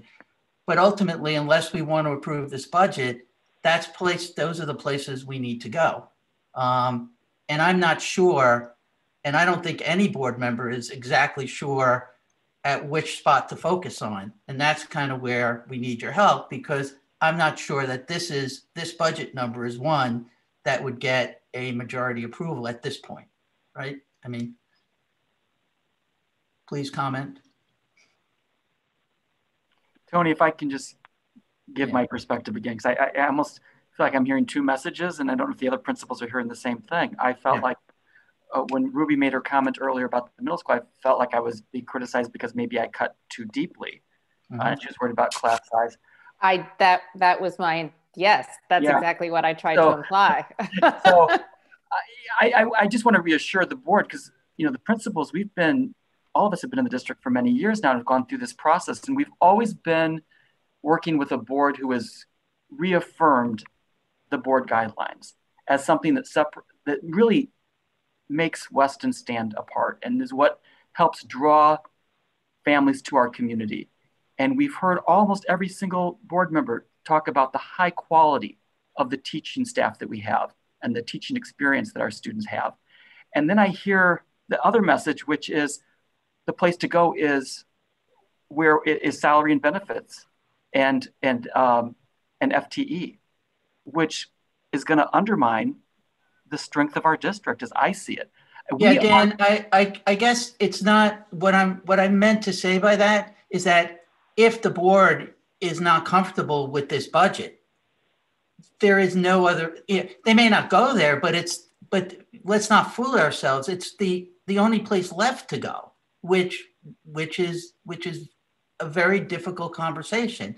So it's just, it's just being practical that that's where the big numbers are. And that if the board is not comfortable with the budget, there, there really is no other place to go, right? and And and, I would just and add- also i'm not i'm not i there is no issue today with the number of teachers teaching the number of students i have I have zero pro- i agree with how it is being laid out today my challenge is the outside variable that was presented to us and that is enrollment and we are paying a third party to give us an enrollment number for next year I disagree with that enrollment number. And that enrollment number then leads to a particular number of sections, right? So my challenge is not the the the student to teacher ratio based today. My challenge is the student to teacher ratio next year based on Milone and MacBroom's projection. Melissa? Yeah, I mean, I, I want to echo a little bit of what Ruby said, but also I really think, you know, in our in terms of our mindset, what we have to be looking at is is long term, not year to year. And that's where I think we're we're we're having kind of a, a little bit of a disagreement here. Um, I would say looking at the long term projections, knowing that COVID is a little bit of an unknown in the short term, that based on the long term projections, it doesn't seem responsible to hire additional teaching staff right now. That's that's what I'm that's what I'm I'm not, I'm not talking about any reductions of current existing teaching staff, just planning for the future. Keep in mind that every, you know, to the point that Lisa and Dan were making earlier with with respect to tenure and I think there's a clear um, statement that the board isn't really understanding a lot of the the long-term hiring implications, but we we want to make sure that the staff that we have right now that is performing excellently in our school districts that we support and we maintain and we retain and we encourage and we develop and we promote and we, we do all these great things to keep Weston as excellent as it is. I just don't think that right now for, for our town and to Victor and Hillary's points, you know, people in Weston, you know, it's, it's these are tough times. I, I just don't see how most businesses aren't hiring right now. And I don't think the Weston School District should be hiring additional staff right now when we have we have projections that we've seen for the past 10 years that show consistent decline in enrollment. That's that's all I'm saying. And if that means in one year in a in a section that we're over our guidelines, I think you have to look to the long-term benefit to our taxpayers and to our preserving rate as low as we can. That that that is a bigger benefit than a short-term blip in in you know one or two years with one or two sections going above guidelines and keeping mindful of the fact that we have learned a tremendous amount this year in what we can do with our children remotely and how we can reach out and develop and and and maintain their their social and emotional health during difficult time period such as this global pandemic. I mean we have tools now in our toolkit that we did not have a year or two ago. So if we do have a little bit of a blip in terms of a, of a class or a grade or a section going above a guideline we have a lot more resources now available to us to help those students so let's take advantage of what we've learned in a difficult time period not do something. Melissa, you're cutting out. Melissa, I have we got a, most of it. We got most of it. I have a question, Tony. I have a question, Melissa. Uh, yeah. Okay. Melissa, I have a question.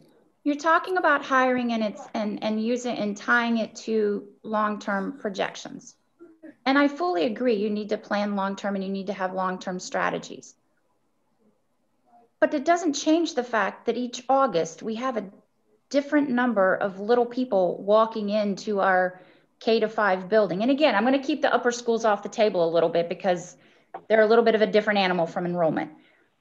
Every August, you're going to have a different number of little people walking into our K to five school, falling into different grade buckets. And there's no way you're going to be able to project every grade 100% on. So are you saying we should never adjust? to accommodate that. I mean, we, Patty and Laura, they, they move their teachers around and shift around and make reductions as needed based on the enrollment walking in the door each August. Right, and we should continue and to do, do that, that, with our I'm existing sure staff. Why? Look, I understand there are there are valid questions because of the funky situation we're in with COVID and the number of homeschool and and possibly temporary private school placements. But I still don't understand why we're we would we would want to, from an educational perspective, go over our guidelines. Gina, well, I don't think I, anybody wants to. We're just saying if that's an if that's if so that how do you think the parents that, of the kids in that grade, when every other grade coming through our school gets to have a certain level of service, and you're going to tell the kids in the one grade, the one year, sorry, you don't get that. Gina, Gina I, I, I, I, Gina, yeah, I, I think Gina, I think to to to Lisa's point earlier, it's about the quality of the individual teacher, not whether they have 0.4 students more in the class, right? Oh, I agree and, with and, that 100%, and, Victor, right. So, so so so it's, it's transitory.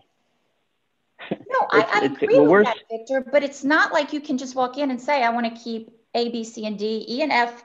We've decided we don't want you. Like we don't have that flexibility. If you but what we're saying look he- at we're, if you look at trend though, Gina, if you if you and I I agree with you. Let's just isolate K through 5. I spent so much of last night just looking at the trends of K through 5. In 2014, A 1000 students.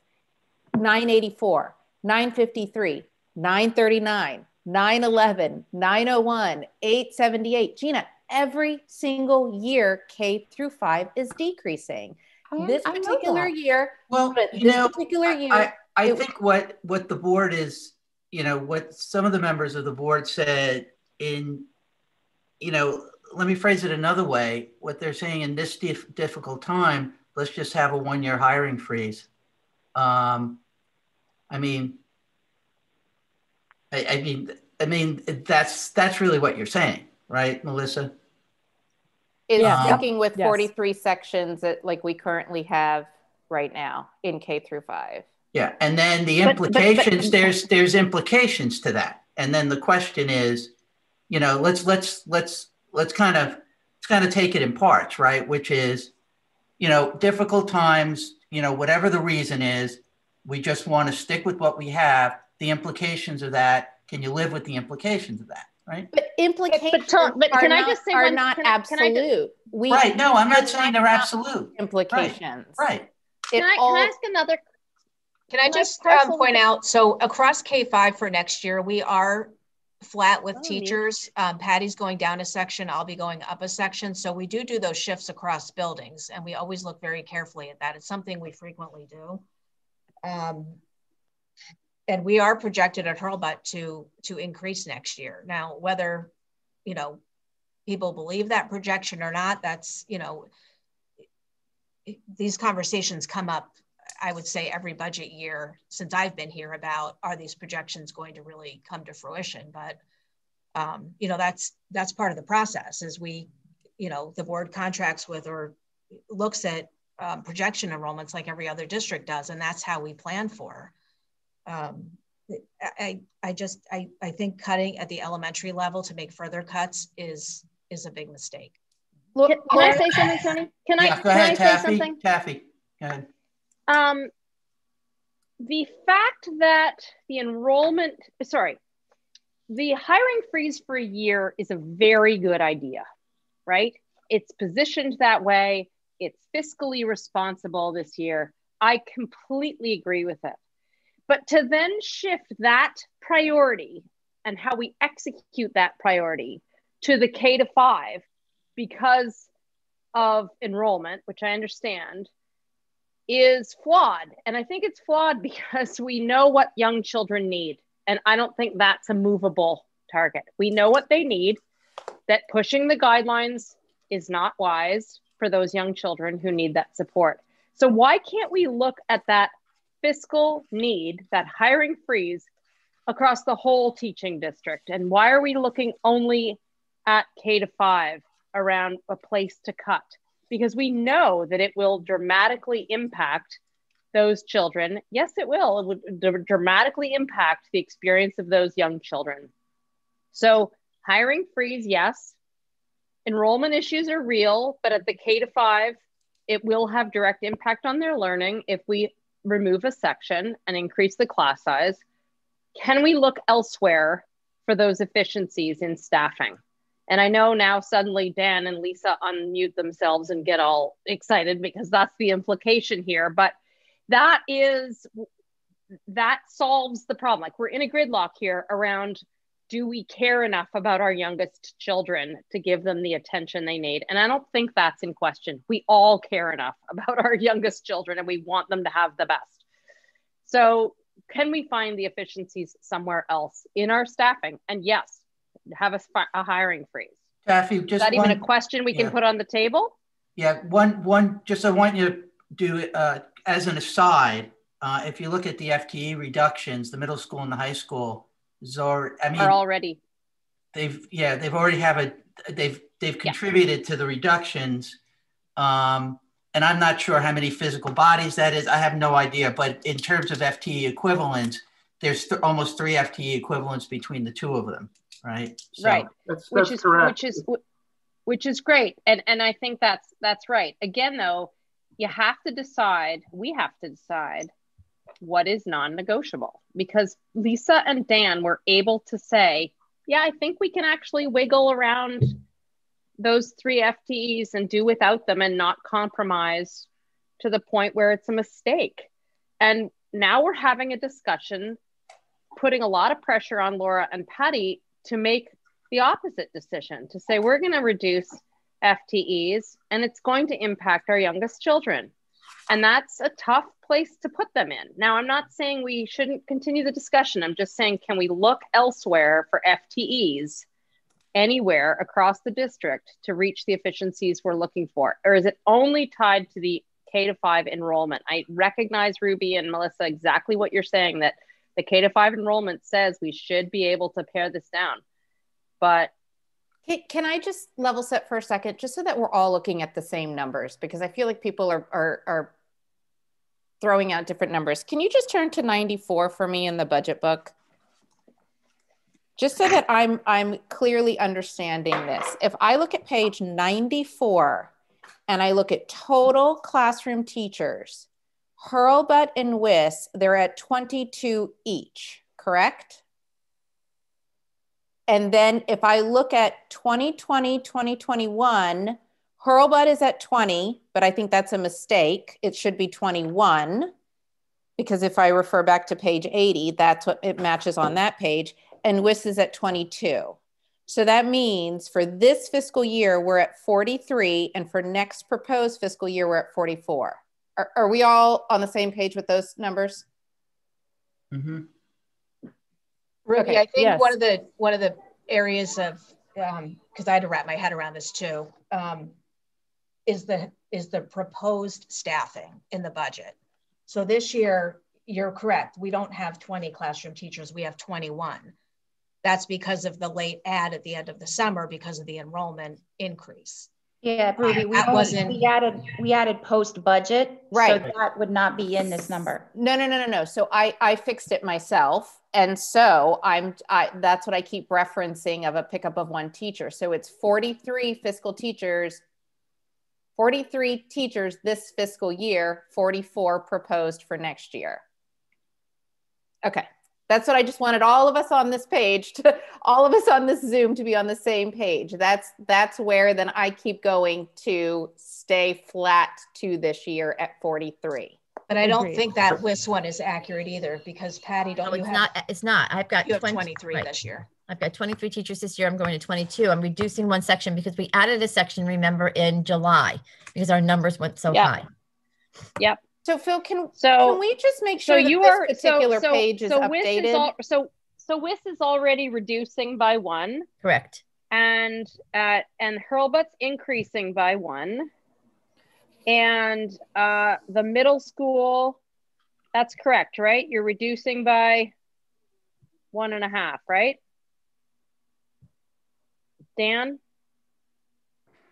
Yes. Um, and again, just a quick refresher the way I was able to achieve those savings was enrollment driven, the same uh, conversation that Laura and Patty were having for their staffing needs. We have a smaller cohort coming into sixth grade. So we're reducing our number of academic sections from nine uh, to, uh, to eight in seventh grade, like we did for sixth grade this year. Two grade levels okay, will have eight sections. The other thing we did, the major change was was the math, how we the math lab. Thank you. Yes. But we've already, So- when you asked about going elsewhere, remember over the last six years, we've been cutting elsewhere in the budget. We've, with administrative assistants, you mentioned, with custodians. Um, Yeah. We've tried to not touch. So let me just let's just go through the. Sorry, Dan, to cut you off, but the high school is reducing by 0.3 FTE, correct, Lisa? Uh, that's from budget, but not from actual. And what it was actual? It, it looks like 30, right now, 37.2. 37.2. But remember, that's tricky because we're just talking about the core academics Right. of English, Yep. math, science, social studies. That doesn't include Yep. all those other things. Yeah, Right. no, that's fine. So to add to the Phil, can we just of the update this K- page, K5 please? Oh, sorry. Sorry, I didn't mean to talk over you, Ruby. I just wanted to add one piece. we were talking about K5 between Hurlbutt and WIS, the numbers going one down for for WIS and one up for Hurlbutt. Do you have to always It's a year- wash. No, well, you have to take into account people who are on leave as well, who may be coming back. So, I mean, that could be, you know, in any one year, you could have people coming in and out on leave, obviously, but I do have at least, I have to go back and check, at least one person coming back on leave uh, next year uh, from leave. So, So, this is the let- time of the year where we hear about those things. Well, listen, it's it's eleven o'clock. It's eleven oh five. The question here is it we're we're going around in a circle right now. What is it that we're asking the leadership team to come back to do?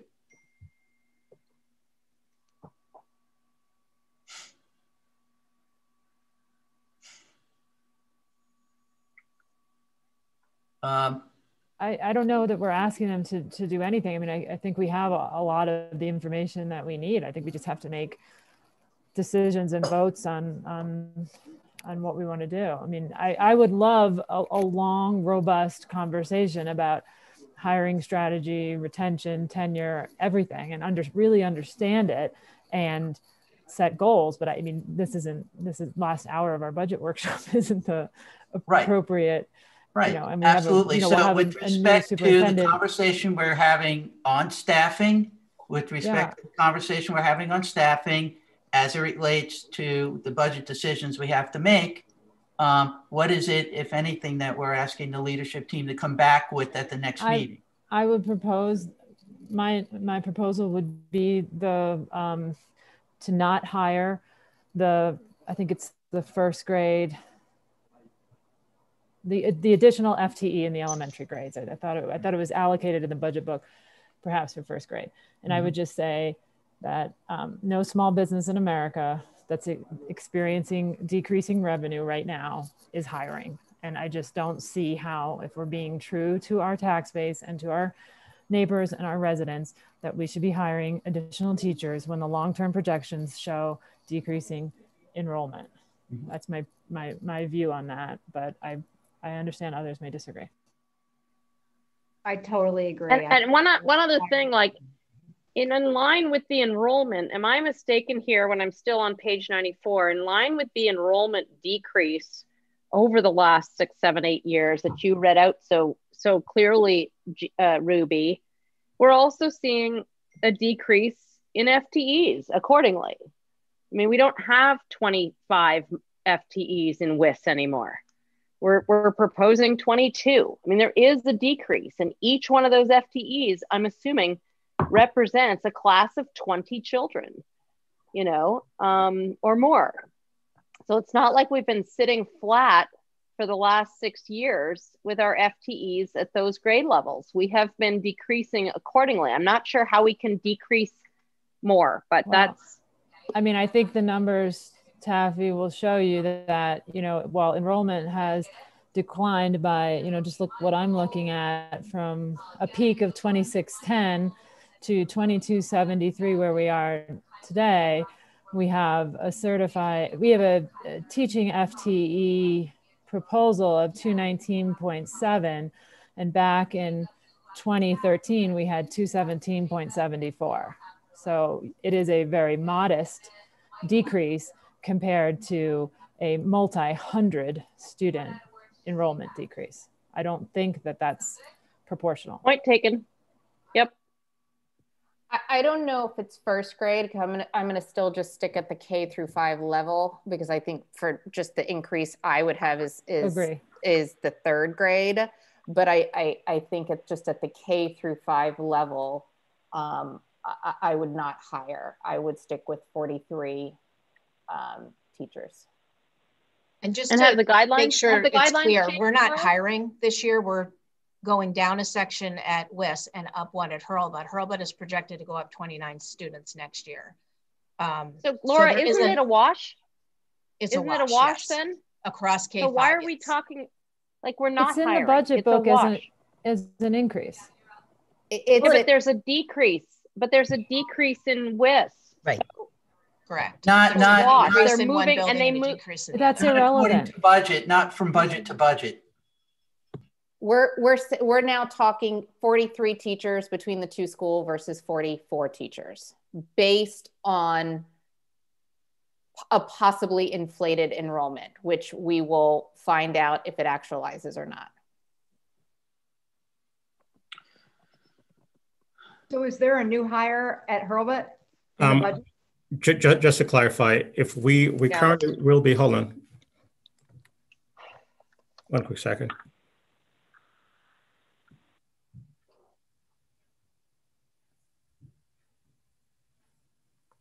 So year over year, in terms of where we are actually, so currently we have 44, we have 44 uh, staff members or section between at the K5 level.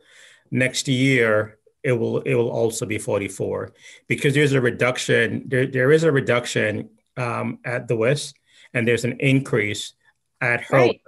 So the but, net, so the net from a net net to net, we're really flat. Yeah, That's no, but budget to budget, still budget budget to budget that's budget to budget is different.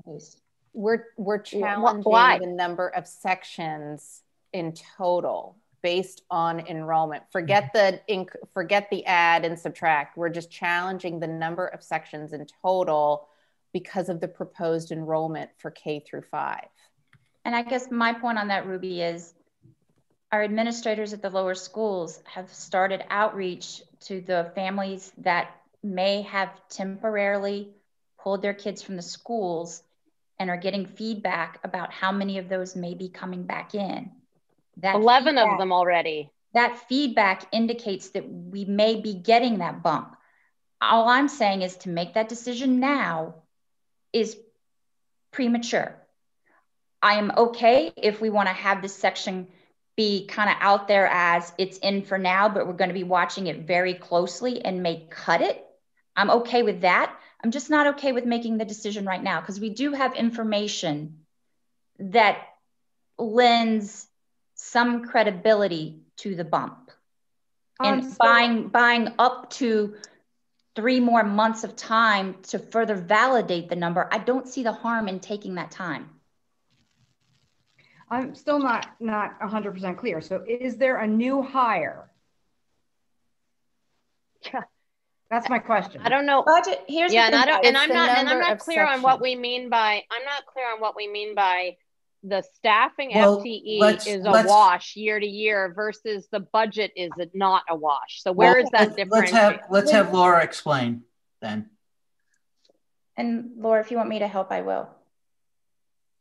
Yeah, so the question um, about staffing is, Is- is, yes, it's a wash across K-5. Is there a new hire? I guess that's the question.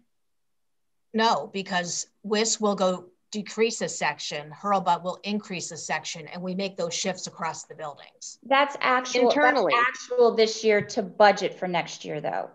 What comes into play, guys, is when we set our budget and what gets voted on by the town, that becomes the official budget number that we use to roll forward to do, to manage our increase decrease. In the budget we approved last year, we were off, essentially off by two sections. We added two sections post budget. So those two sections uh, kind of automatically become an increase to this year's budget because they weren't in last year's budget.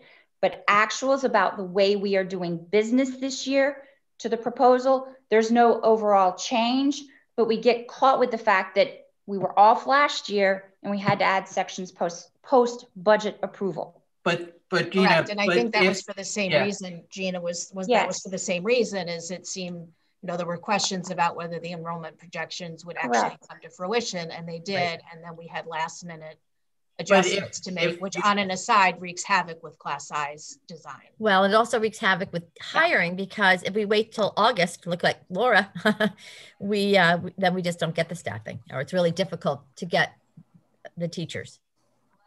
So if you don't, it, there is a real, there is a real savings. I mean, it's, it's, if you don't add a, I mean, I get bottom line, you may not want to do it, but if you don't add a section at Hurlbutt, there is a savings. I mean, Let's stop saying "hurl" Hurlbutt because it's, I, I don't want to put it on Hurlbutt. It's a, it's a K through five. I, I'm just. I'm just. I know, just I know, but I don't want to, Referencing the budget book. I know, just, let's just say K through five. Yeah. Yeah, and I, I think it would be helpful to think of the reduction that Pat, Patty's making as separate from, from the other. I think that's where we're getting all confused. I don't think we should be ca- comparing like, well, we go down here, we go up here, you know, and, and I- think, you know, Patty's making decision or, or the, or the administrative team is making decision with respect to that section based on enrollment that's going down. And I think that correspondingly, it doesn't make sense to have an increase in a section um, for, for the very same reason that we have historic enrollment decline and future projected enrollment decline. Um, so I think you have to look at them separately. So whether it's a wash or not, uh, you know, is, is irrelevant. What's what's what what I'm just so I, we're clear in what I'm saying is I would not I would not support an increase if you want to refer to it as that section or a hiring increase or you know however we're we're calling it. But I think that um, Um, Well, and I just that want to be clear? clear, we don't have a reduction at one building and say, oh, well, let's just put it the other and make it a wash. We do, look. I mean, there, the enrollment is based building specific based on the number of sections we need. Then if, you know, because Patty's happy to go down and I'm happy to go up, we can make staffing adjustments across the buildings, but we don't budget that way. Mhm. We look at the. Uh, Somebody individual said that, uh, the wash. I was just, that was what I was responding to. Yeah. Well, no, because- no, right. That because we're not hiring a person, that person, because of the reduction, we can make shifts across buildings. Now, um, Bill, I, you know, I know that you, you, the leadership team has scrubbed this, but, you know, are there any other, you know, is, is, is there any value in um, relooking at the whole um, staffing area and saying, okay, is there any other places we could we could look for some efficiencies here at this point in the budget process? Did you say Bill or Phil? I didn't. Bill. Yeah. Yeah, I think the team can answer. I'm going to just be politely direct. No. I mean, the things we would bring you, but you as a board have to decide. Uh, and I think the team here has to decide this is your district going forward. Yeah. But I would say no, because the things we'll bring to you will be things that will substantially undermine the quality of this district going forward. And I'm going to say this I'm very excited about uh, exciting people coming in here to be superintendent. And I'm very excited for this district because I've given five years to it. Um, and I'm excited everywhere I've gone, I care about who follows me and that excellence continues. And, and I think you want to be very cautious that you let that new leader uh, come in, work with the team here, and grapple with you about all these very difficult questions. Because these are the exact questions that are going on in New Canaan, Greenwich, Darien. Go over to Westchester County. These are the exact questions, and they're multi-year challenges, multi-year issues. Uh, and I, but I, I will say to you, no, but you need to hear from the team.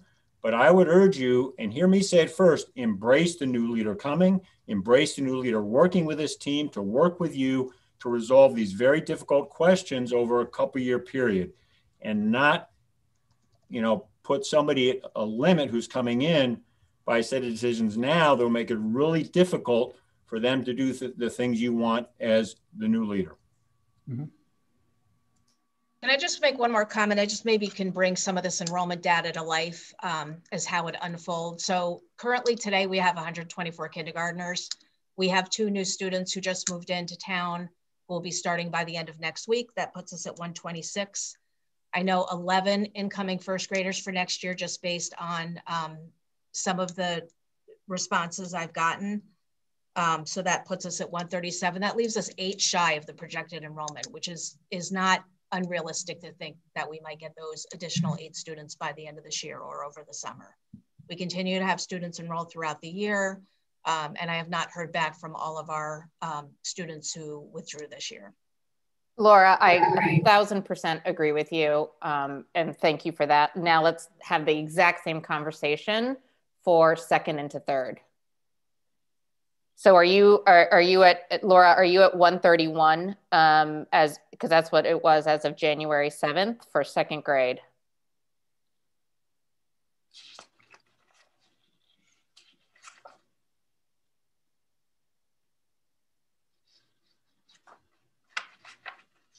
I couldn't find my mute button. So um, today in second grade we have 124 we know of eight students um, who have responded so far that they will be returning for third grade. Um, we have. Wait, wait, wait, wait. That's I enrollment for October 1st for second grade was at 131. And then on January 7th, it was confirmed at 131. So now we, as of today, we have 124. Yes, we did have some uh, students move and withdraw. Okay, so that puts the pickup into third grade even greater because 19 was already inflated and that was off of the 131. So now we're saying we're going to have a pickup of 26, which we've definitely never done before. How many have confirmed into third grade, Patty? I know that you made some phone calls already. Was it eight? So the incoming third survey comes out of my survey because, Okay. uh, you know, they withdrew out of our building. So we have eight confirmed coming back so far. I think Patty spoke at the last meeting about historically um, third grade movement in. It is it is typically a year where we see a large number moving in, but those uh, the new No, we in. we we had. I can give you pickup second into third step pickup. Ten last year, five the year before, sixteen the year before, eight the year before, eleven the year before, fifteen the year before. Never have we had twenty six. And if you minus eight from the twenty six, I mean even eighteen is a lot. Well, I actually, I actually had Go ahead, 23 new students this year in third grade. But however, out of those 23 new students, seven of them chose to go homeschooling and a couple then uh, went to private school and moved. That's where the numbers are different. But yeah, I did actually have 23 new students, and I have another one coming in this year. And then you know, last year, you're right. The year before, we only had eight new students. The year before that, I had 16. So it it it's so it fluctuates. Yeah, again, just we Ruby, we heard that. We went back, we adjusted the historic figures.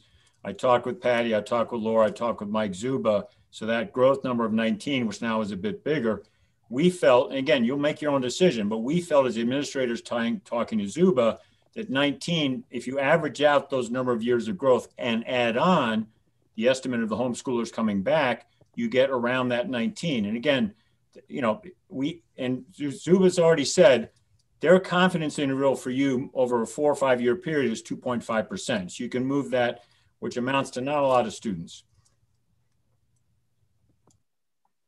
Sorry, Patty, can you confirm your enrollment right now in third grade? Yeah, we're at 145 students right now with another Oh, one okay. coming in in two weeks. That's where we are now. And then last year,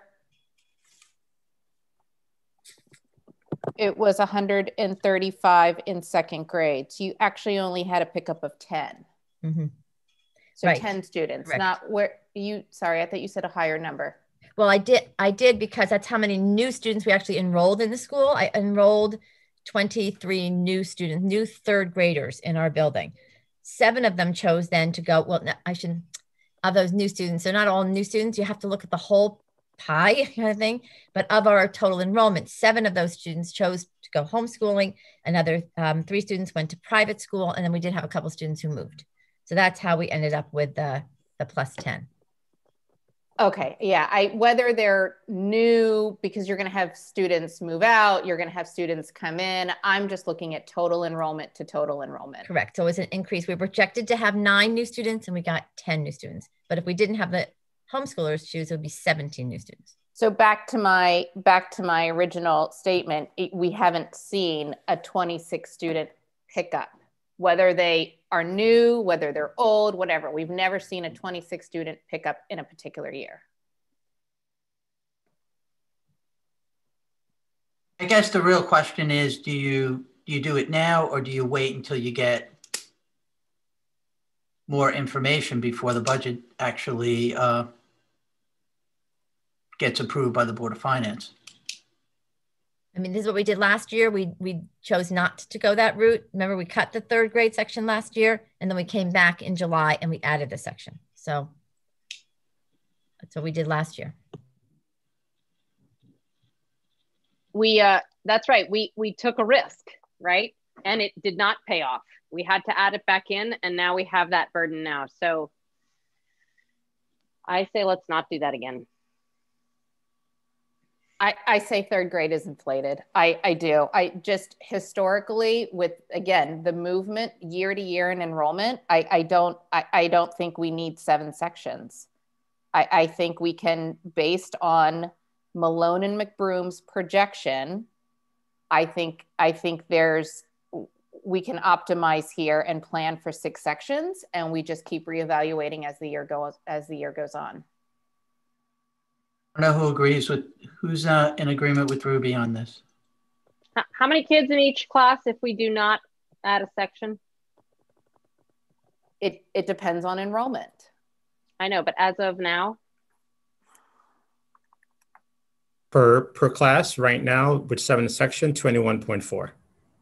If we reduce by one section, we'll be at 25 per class. But that's if can't we do that. agree. Mm. No, but Taffy, who's to say that we're going to have 150 students in third grade? That's what I'm saying. A pickup. well of you do it you 26 do it with a well you do it with a public caveat that says if that enrollment does not hold that there's another section just like last year i mean as, as laura said you, you- like you not we're not going to march into the year saying that we're going to surpass guidelines for all those sections i mean i don't i can't approve that Yeah, I, I think, that we either you know, I, I think you could do one of two things. You can either not do anything and wait, or reduce it and say that if we, you know, if we actually trip the guideline in the summer, we have to reevaluate. Right. That's it. You have to make a public trigger To reevaluate. to reevaluate and to act on. I mean, I don't know that I'm going to like re. Well, I think that's the debate. I mean, I mean, I think some people are sound as if they're okay exceeding the guidelines. I think a couple of us are not okay with exceeding the guidelines. Um, and I think that it's important that the public know where we're headed on this. I, I, I totally get questioning the projection right now. I, I think that's Um, probably fair, but if we're gonna, if we're gonna let the public be aware of that, let's make sure it's not just our school public population, that it's the entire town. Oh, agreed. And to be clear, as a board, this board has precedent within the summer having that discussion then. When I arrived, that was one of Right. those discussions that occurred. And Right. the decision was by that board to incur an additional quarter million in expense for two sections to keep to the class size guidelines. Now, this board may choose to have a different discussion. I just want to assure you that at least the team represented here is not going to unilaterally add sections. It's done in close coordination with you as a board because you have to vote to add those sections. So there's clear precedent in this town to have that exact conversation that you want to have. Um, just I would caution, it is part of the strategy. We know very clearly that when we go to hire in August, uh, it's harder to find the quality teacher that Weston needs and demands and should have. Uh, and I just want to be very clear about that. Again, it's tied to, on your team here, many, many years of experience within the strategy that's used to hire. And and I think going forward, if we're going to do this and put this much weight on the enrollment projections, which I agree we pay for where it's there for a reason, then it's a standing decision we make that based on enrollment, we're reducing sections and in July we reevaluate. And that's what we do every year. Now, I just this year's this year's an anomaly though, Tony. This year's Yeah. an anomaly. No, this year's an anomaly, and and I'm I you know I think you know if if it sounds like there's a number of people who say let's let's reduce and then reevaluate. I'm fine doing it as long as we have a real honest discussion about reevaluation in the in the in the summertime, right? Um, if we have to actually increase it, but but there's there's a con- there's a there's an unintended consequence to this, and that is if you do decide to add, it's gonna it be it is gonna crowd out other things that you have budgeted for, right? So it, it's an operating expense that then will give Phil a huge headache to try to. And that's where then you have to maybe take a step back and look at the budget as a whole. If you're sitting there saying Right. you, want, you want to reduce a section size, but we're going to come back and evaluate that. If we're going to cut the sped contingency by half and we're going to come back and reevaluate that, all of a sudden that's a quarter of a million dollars that we have now like pulled back on that may very well be legitimate expense that we need to incur. So that's that's the balance that we have to go through. Um, yes, we have to make decisions about certain things as it relates. Are we adding this section? But we got to take a step back and think about everything else we're cutting. And if you're going to cut that sped contingency and you're going to cut a section, that's just kind of a recipe for like a big pile Well, I, I think then the discussion with the Board of Finance has to be very uh, explicit about potentially having to go back for, uh, you know, an you know a, a special um, special allocation, right? But but but that's you know those are the things we have to weigh, right? Um, Good question. Yeah. Can we reduce the section and then instead of saying we'll reevaluate in August, since it's now, you know, the end of January, can we say we'll reevaluate like in April or May? No, what I'm saying is we have to leave it in now with the caveat that we will continue to reevaluate and could potentially adjust based on new facts. We can't go, trying to go back and add to our budget is a disaster. no, you either We can approve with a caveat that we're going to continue to look at these specific things and we may come de- back to you with a reduction. That we can easily do. I I would I wouldn't plan for that. I would I would go ahead and and put the this you know the stake in the ground now saying 43 sections and then and then we continue because I I think the pickup of 26 students is I just do not agree with it. For, forget forget third grade. forget even K through five. Let's just talk about total Weston. Total Weston is saying we are flat in enrollment. Westport is down. New Canaan is down. Wilton hasn't come out with their, their budget book yet. I couldn't find it online. We as a district, are we saying that everyone else around us is, is, is uh, decreasing in enrollment and we're going to say that we're going to be flat? Like, I think that's that, what message are we going out with? I personally, in my gut, do not think we're going to be flat. Yeah, I think I agree right. with Ruby. And I think if you take it one step further, Ruby, even if if you're wrong or the projections are wrong, we're all wrong. You know, we we're still we still need to think long term, and long term is showing decline, not up. So why would we saddle ourselves with something extra right now that's that's unnecessary in these challenging times? Our town is in challenging times. But and we have and we have and we have four and we have four buildings and we have four buildings of staff to balance it out, not two. we need a Victor. I hear you, but you you can't. There's certification issues that.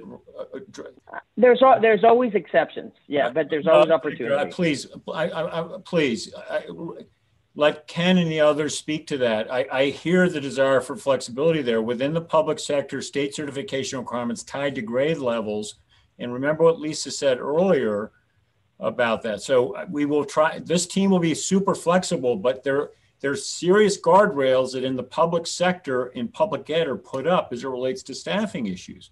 I, okay, I let's let's really let's do let's do this for now. This this is going to be a long. This is going to be another conversation before we approve the budget. Seems like the majority of people are are in favor of uh, reducing it and then and then reevaluating in the summer. Phil, why don't you account for that now. We have another, we're going to have another long discussion before we approve the budget to revisit that. Think long and hard about that because, because if we are, if we're wrong and have to flip back, we have, we, the winds are against us in terms of our having to uh, take this out of our operating budget next year. I mean, it's not a reason not to do it, but everyone's eyes have to be wide open on what it means to actually then have to add and make room for it in, in our operating budget. But why don't, why don't we do that for now? Because it seems like that's where the majority is heading. And then let's, let's reevaluate before we actually uh, approve the budget, okay? Um, so we have a half hour left. I would really love to nail down the capital budget. If if we if if if if it's ready, Phil, or if not. Yeah, um, let me let me try to get Mike on the line. I I, I think we did send out to everyone revised uh, capital sheets, and it's also posted um, on CABE. Let me try to get Mike to join us. Give me a few minutes, please. While he is um, grabbing Mike, I had a question. Oh, wait. Tony, do you want to stay away from the Q&A? Because I had a question in the Q&A booklet. Sure, while we're, while waiting for Mike. Okay, so I had a question when we start going through the FTEs by school. Oh, and by the way, um, the reason the reason um, I also think it's good at this point to actually put in the the lower school uh, adjustment is because we have a community, uh, we have a, a, community forum tomorrow evening. And so um, we'll probably also be hearing from uh, the community on the entire budget and where things stand at this point. So Dan, this question is for you. On page 33 of the Q&A under Appendix B, the very first uh, line is one middle school art teacher at 0.5 FTE, correct? Then if you turn to page 82 in the budget book, it shows art at 1.4 FTE. So that means you have one person at a 0.9 FTE and then another person at a 0.5 FTE. Is that correct?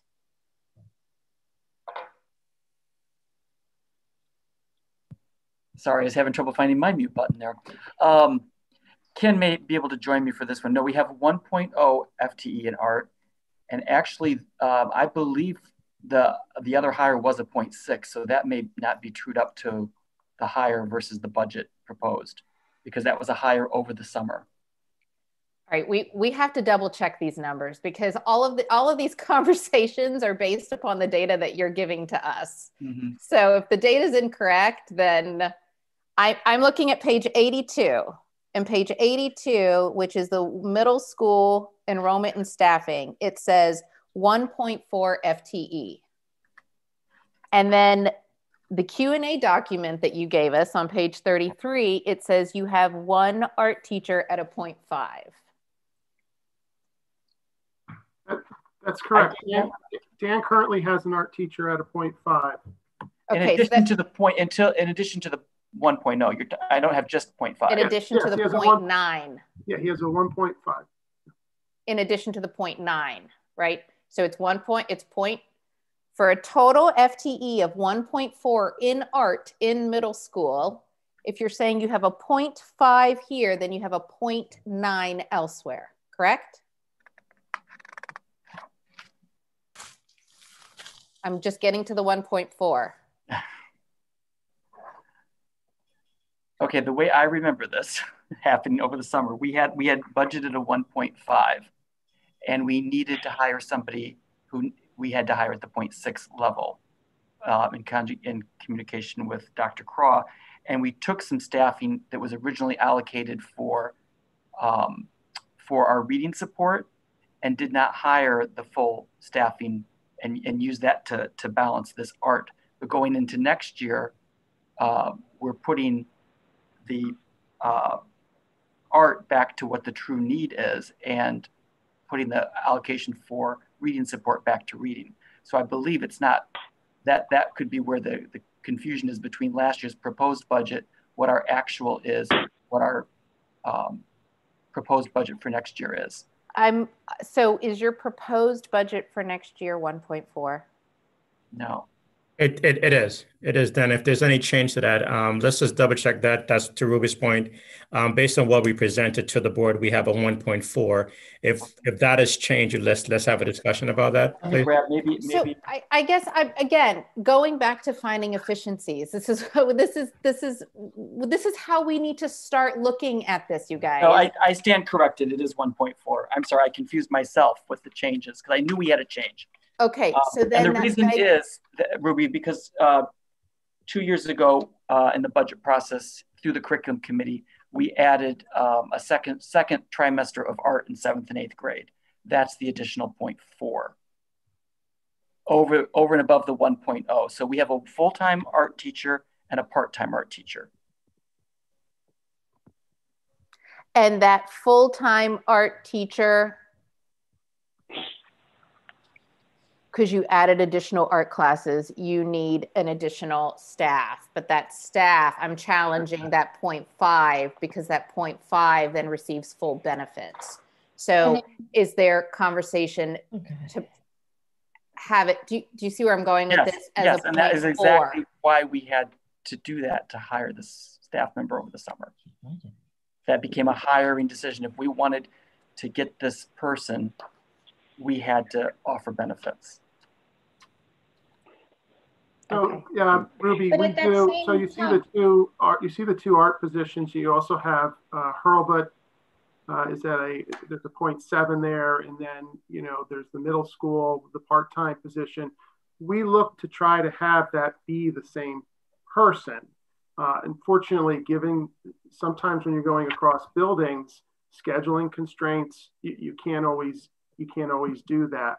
Uh, this was certainly one of those circumstances where we could not consolidate, you know, a, a, an art teacher here. I mean, for the most part, overall, we've been, as you can see from that list, very effective in being able to do that. This was one that was very challenging. And also, when we're, you know, a day or two before the start of the year, trying to get an art teacher and competing with everybody else who's looking for someone. And sometimes you might even think, uh, you know, it could be easier to get part time. It's actually harder uh, to find someone. So yeah, I, I would I would challenge the. this goes back to Melissa's point of having a staffing and hiring strategy. Well, we it's, do.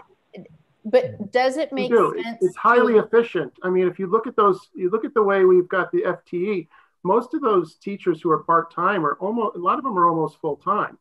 And so, um, you know, the, goal is to use the staff because we're on one campus. That is such a, uh, a huge benefit to us from a staffing standpoint. But we do, you know, and I hear this from Patty and Laura and Darren all the time, trying to, you know, use staff across buildings gets really challenging scheduling wise. So we we try to plan very much in advance to do that. And now this past summer, because we offered staff unpaid leave and things of that nature, we had a lot, we, we had some movement, uh, particularly we had an art teacher, uh, you know, actually retire. Um, uh, we had others who took the, the unpaid leave. We shifted some teachers who were in existing roles to cover, um, you know, some of these openings that we had to try to be efficient. And that was, I mean, you know, in terms of our strategies this year, we really had to, you know, think creatively about how to how to staff these these positions without trying to go out and actually hire um, for every one of those openings that came up. Um, so we did shift a lot of staff to try to address this. But in some cases like this, where you couldn't just have one person across two buildings, unfortunately, we did have to, you know, there isn't a, an extra um, benefits package there. I, I would, I would, um, I would love to continue this conversation in mm-hmm. terms of the go forward hiring strategy is the 0.5 because 0.5 at the bare minimum is receiving full-time benefits. Maybe there shouldn't even be a 0.5 it's either a 0.4 which is under the threshold or a 0.6 so we get more out of them. But this 0.5 where they are bare minimum part-time but yet receiving full-time benefits in my mind i think there's there's an efficiency opportunity here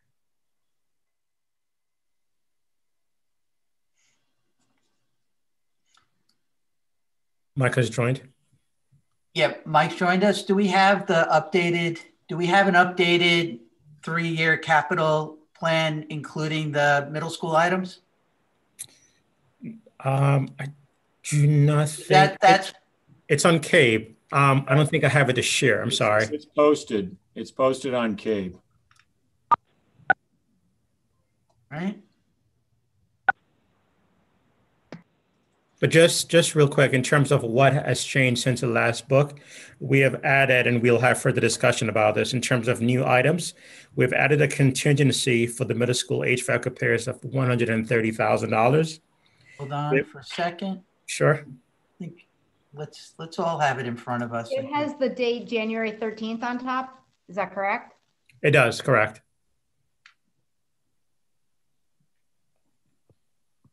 So it has a, it should have a total for FY twenty-two of one million fifty-seven four hundred.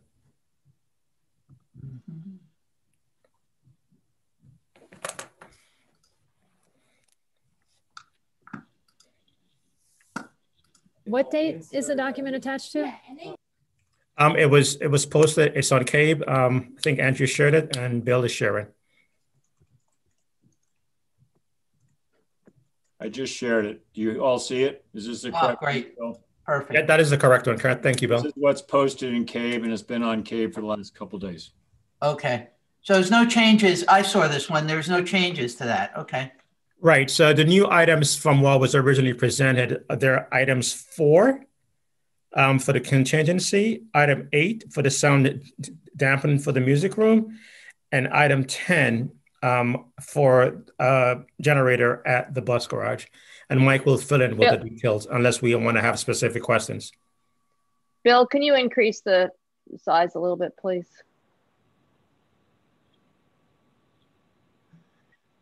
Just go up to the Zoom here. Yeah, thank you.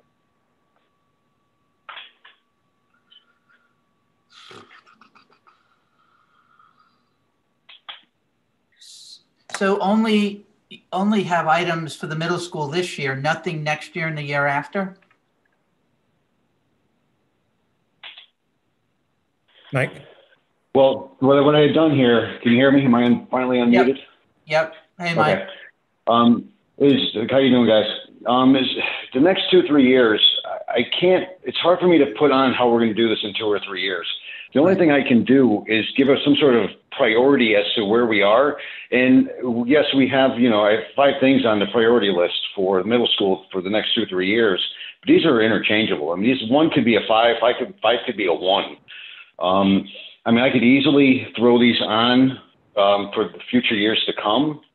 Um, but we kind of need to come up with a plan as to how we want to go forth with this. I mean, I don't think we want to do, I mean, as, as important as upgrading bathrooms are and getting them up to ADA uh, compliance, I'm not sure that we want to get to the next two or three year plan because we don't know what's going to happen with the, the middle school. It's, I, I don't see it changing, but if the spaces are going to kind of change a little bit, um, it would be nice to do a complete renovation. Um, like, let me just give you, for instance, number five in the C wing, which is the which Mike, is the hallway of the old. Mike, one second. Yeah. Bill, can you can you go to the next page, please, Bill? These are the items that Mike is referring yeah. to. Yeah. Okay, so it's C wing. I mean, we have two boys and we have two girls' bathrooms, all within you know 25 feet of each other. Um, these are the bathrooms that are used for um, voting, for sporting events, schooling. Um, and these are adjacent to each other. So it'd be really nice to go in and just knock down walls and make larger bathrooms out of them instead of having two very tiny stalls for the boys' room along with two urinals. Um, or on the other side, you know, you have a couple couple smaller stalls for girls. It'd be nice to open these rooms right wide up and uh, make them larger rooms like we have in the gallery of the high school. So that's why it's very hard for me to put this onto a list because if if the optimization committee is going to come in and say that we can, you know, make one bathroom out of two and have two staff and two um, student bathrooms, it's a home run. That we should definitely go that route. Mm-hmm. So for me to put them on one, two, and three, it's, it's really difficult. I mean, the hydronic pumps I want immediately um, with the chilled water pumps, just because that's how we serve the heating and the cooling for all the HVAC units that are there.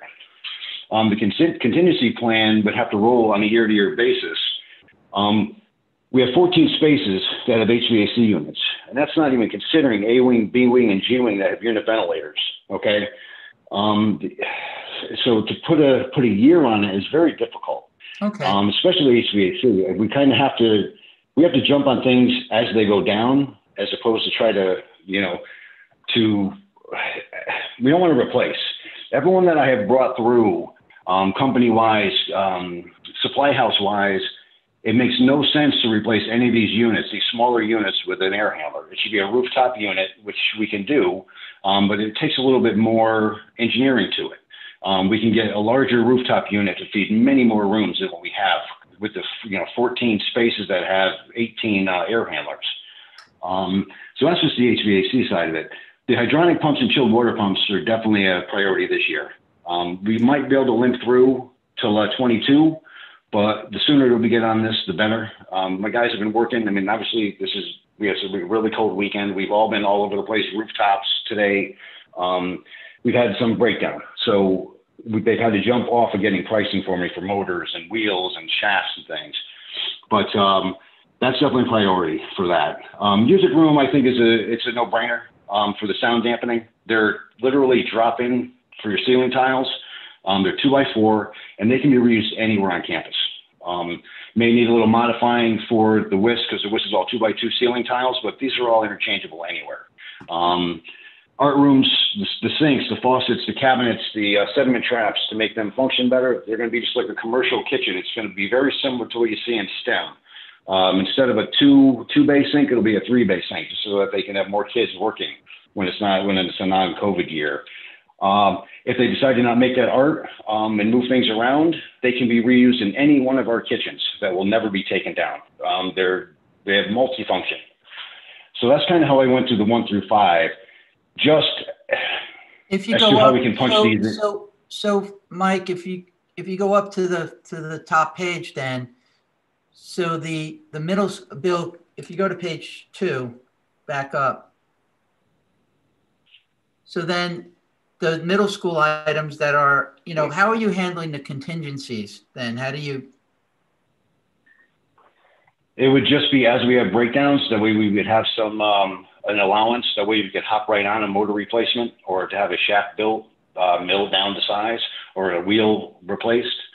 That's what the contingency is for, just so that if we have a major breakdown and we have to shut down a unit, whether it's the library, whether it's the cafeteria, whether it's a group of classrooms for science or art, that we can just hop on it immediately and start the repair process. Right. Now, is that a, an allowable, is a contingency, Phil, an allowable capital item? We may have to have, um, we may have to um, have the the Symmetrist sinking fund. We could just have the board um, of, of finance um, create a new account, but I have to double check with Rick if, if this is allowed or not. But I think just overall within the um, the capital budget, we should be able to do this.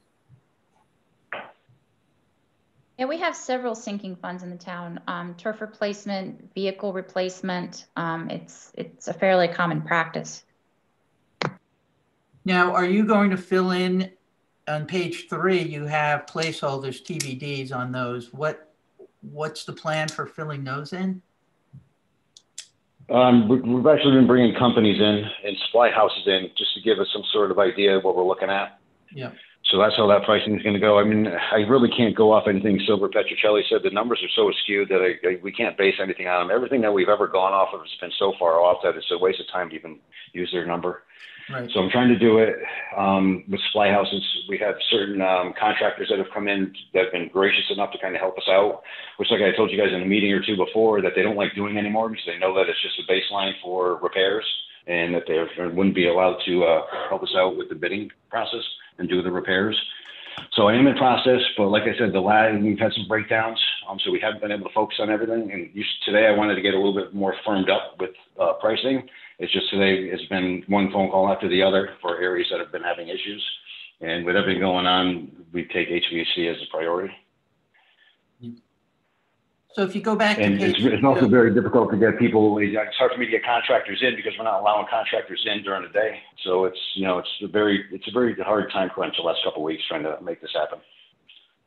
So if you go back to page two, this is a you know obviously there's always a a uh, um, pretty extensive discussion with the Board of Finance. Uh, I think this this is also um, I think this prioritization, Mike, is something that um, the building committee would probably agree with you on. Sure. Yes, is that a yes? Yes, I agree with that. Yes, yes, hundred percent. Yeah. Um, so I don't know if the board members have any questions on this, but this is probably roughly the capital uh, plan that we're going to go with for discussion with the Board of Finance. I think it's, you know, probably the three year cost is probably on average built into the town's, you know, what they have in the 10 year projection, although.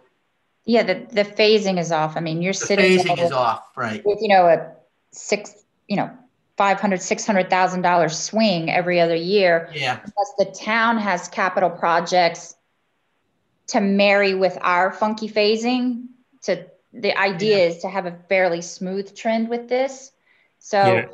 i mean i'm not opposed to it as long as the town has projects phased so that we end up top line right. relatively yeah. smooth but this is a little bit of a funky pattern it is yeah I'm, I'm sorry. Um, just just so everyone knows, a lot of one of the reasons why it's like this um, is because of pretty much for the facility feasibility study, we deferred a few items from our list and we made a few adjustments. Because um, initially, when we did it, we did the plan was to have a smooth a smooth transition, a smooth no, number year over year. But with the adjustments or deferrals that we made um, pending feasibility uh, committee, um, that's why we have that huge shift um, in the in the middle of the year? Well, and three items on your year one are from Silver Petrucelli, which could technically get moved out once we have a more realistic um, number, correct? Um, I, I, think the only item here, no, I think the only item here that is pending that we could have re revised downwards um, when we're waiting for num- revised number is items two and three. The the old gym, the air handler and lighting at the high school for 350 and the window sill replacement project. But I think Mike did mention the last time that what while we may have while we may have one project going down, we may see an increase in the, in the other project. Mike, can you just talk real quick about the windowsill project and the high school um, replacement, the the gym? Um, yeah, absolutely. Yeah, so basically on windowsill project, um, I, I, apologize. I'm not at desk. I'm not in front of the computer. I don't have a lot of paperwork with me. Like I said, we have a lot of breakdowns, so I'm kind of back and forth to all the schools. Um, windowsill project, I believe, was two seven uh, two fifty. Um, we are definitely going to be well above that number. Richard Wolf agrees 100% that that's going to be a very uh, elevated number. We're going to be come down. We're going to come in with that project much lower than that, probably less than half. Um, now we're still in process with the the gym, the old gym of the high of the high school. Um, that number certainly is going to go up. It's just how are we going to manage the project and how are we going to get it within the numbers that we need to get it into. Um, so that number is going to probably be on the rise. Are they going to balance out to for the totals to equal? That we're unsure of. Um, should have a little bit better. There was a building committee meeting last Wednesday. There's another one coming up, not this Wednesday, but following Wednesday. Um, and we'll have a little bit better numbers. The thoughts were to uh, possibly remove the AC out of the out of the project to get the project down to a um, manageable number with the future add-on of air conditioning. So we're still in process with that with the building committee, with the engineer, and the, uh, the bidding. So that's still unfortunately up in the air. I will get, I will reach out and find out where the pricing is. I was actually just on the phone with Jonathan a little while ago. I'll find out where we are with the pricing for the um, for the windowsill project to see exactly what kind of number we're looking at, or if he's firmed up anything. But unfortunately, those two projects we don't have solid numbers.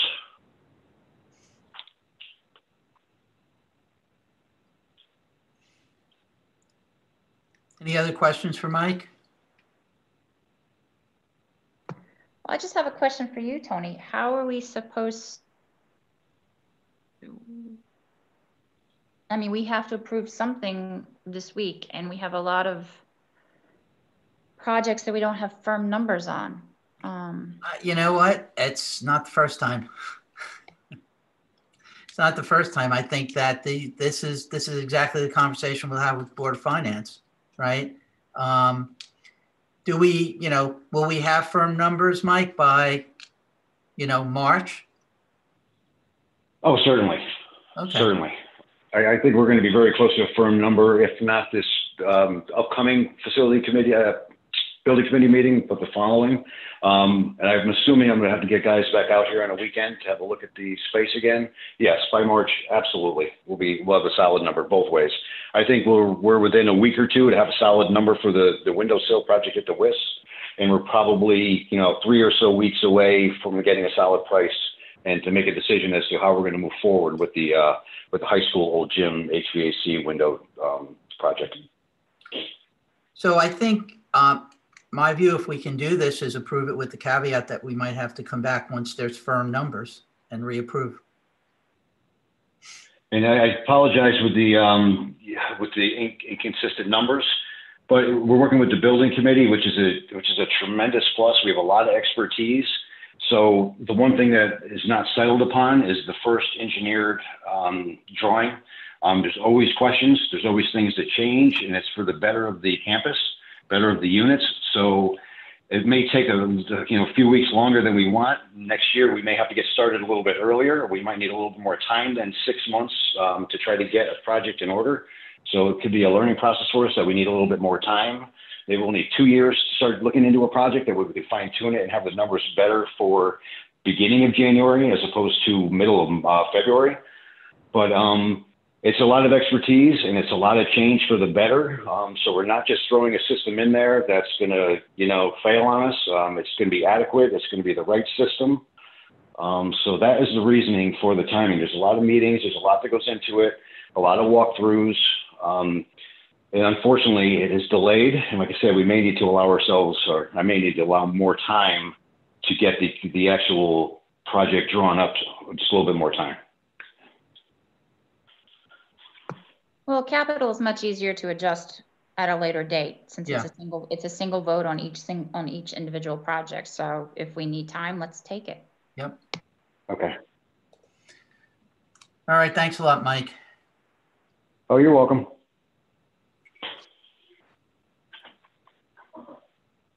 We're back. Um, 12 o'clock, I'd like to keep us on schedule. Um, so just a little bit of housekeeping. Tomorrow we have the public forum. There's also a mod, the agenda was modified so that um, we can also do some board work as well. Once, uh, you know, I'm sure you know, the Q&A won't go on for, uh, for the entire time. So we can actually get some work done, um, maybe go through the Q&A responses that people have questions about but ultimately, you know, at the end of this week, we're voting on a budget. So, you know, while Ruby, you know, it's not about a number, we're voting on a number.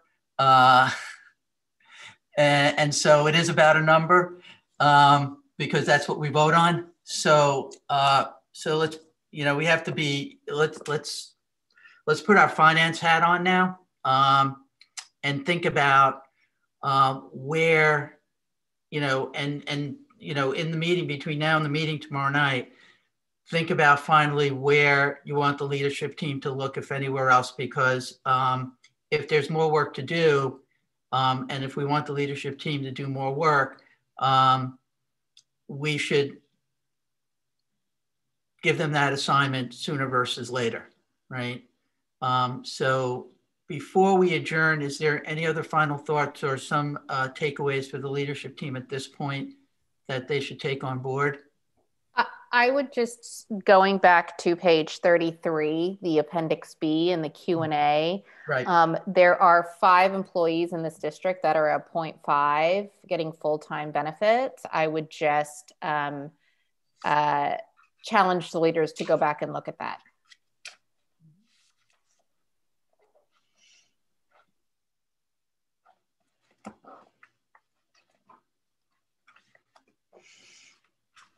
Uh, is that actionable? Does that mean you want them to come back to you on Thursday evening with a solution or a change? I'm just trying to help them. I mean, ideally, I just, you know, I just don't think we're operating in a very efficient manner, having a, staff at a 0.5 and then yet we're paying full time benefits for them. I, I think we can then utilize them elsewhere where else can they be utilized for well, them to? I guess the first question is to, you know, what, you know, without naming names, obviously, what's the typical situation where that happens and why does that happen? Yeah, I mean, let's let's take for example. And and, and is five and is five and is five is five the total number or are there 20 like how many in the district are the part-time 0.5 and with benefits? What's the total number?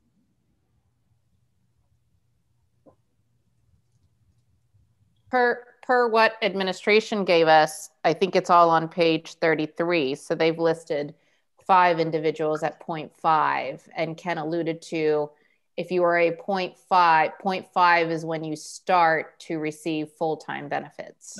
That's correct. If I could just say, let's take the example of the French teacher. We do not have, um, you know, the need for a 2.0 French teacher just giving programmatic needs enrollment in the program, but we do have a need for 1.5. Um, you know, it's just that that's where the enrollment breaks out. And it's not like you can, you know, unless you have dual certified teachers like Lisa alluded to earlier, French and Spanish, we just don't have that in the system where we could flex that person with another, um, you know, another uh, assignment. Uh, unfortunately, it's just you just get stuck. And then at the, the high school level with a bio person, uh, we don't have the need for a full time position. Um, but you know that so that's where the need is, and you know I think Lisa can add to that one. But we can, I mean, we can go through each of these. Yeah, one thing I would say is sometimes at the high school level, we make the decision. For example, I made the decision to have one of our bio teachers who had been out for um, child rearing to see if she wanted a half-time position. And the thought behind that was, if you recall, we had a physics teacher that left and a project lead the way person that left short notice. Um, and we wanted to hire the best physics and best pre-engineering people that we could. And so by having that person gets a little bit complicated, go part-time and there are other people that are certified in other areas because in science, it's by particular area. We were able to hire a top quality physics person and a top quality split physics project lead the way. If not, I don't know what we would have done with that other piece of project lead the way who we would have found to be able to do it. So sometimes there's kind of a long method to our actions, if you will, especially when we're talking about at the high school with such high levels of expertise that are needed. Yeah, Lisa, I told I completely hear you and and Ken, I appreciate your comments around French. That totally makes sense too. But when Dan says that hiring this person person was contingent on giving them full-time benefits, that is what I have a problem with. I for my team when I hiring and you know, my I would never hire someone part-time, but then yet I have to pay them a full-time whatever. So that's where I'm saying we need to uh, just find efficiencies, whether it's across school or whether it's in a particular building. That's my well, challenge. Yeah, so I, I might suggest maybe may I suggest this? I think for the next meeting, it's right, right around the corner. I think by tomorrow evening, in that second part of the public session, as Tony mentioned, we can bring you an explanation across all point fives because we have to be very cautious in a public meeting. I know you're not trying to do this to have specific discussions about specific employees. And we're starting to go down that path. So I would urge us to have us come back to the board and say, when we have to go to point five, here's why we have done it. Because I can assure you, we don't want to hand out benefit packages if we don't have to. We've worked incredibly hard at that. But this is then the trade off. It's almost a class size discussion. If you care about high quality in teachers in Weston, there are times where, unless you are allowing that kind of 0.5, you don't get the coverage you need and you don't get the best person. But let us come back and we can do it by tomorrow evening, tight and in writing to, in a sense, add to this document with not just the line, but a general explanation of how we approach, be it that sub 1.0 appointment, just so you have more clarity on that. Because I can assure you, this term team works incredibly hard to get the best at, at the best price possible and to avoid benefit packages when we can. Uh, but but let us come back and explain that to you again without going down line by line, job person by job person.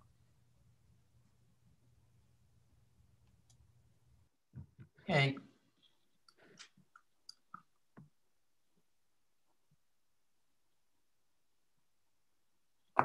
I just want a quick, a quick reminder to everyone, um, based on everything that we discussed earlier, we're currently at 288. Uh, no, I mean, we have the. With a placeholder for that reduction for that one teacher will be at about 269. Okay.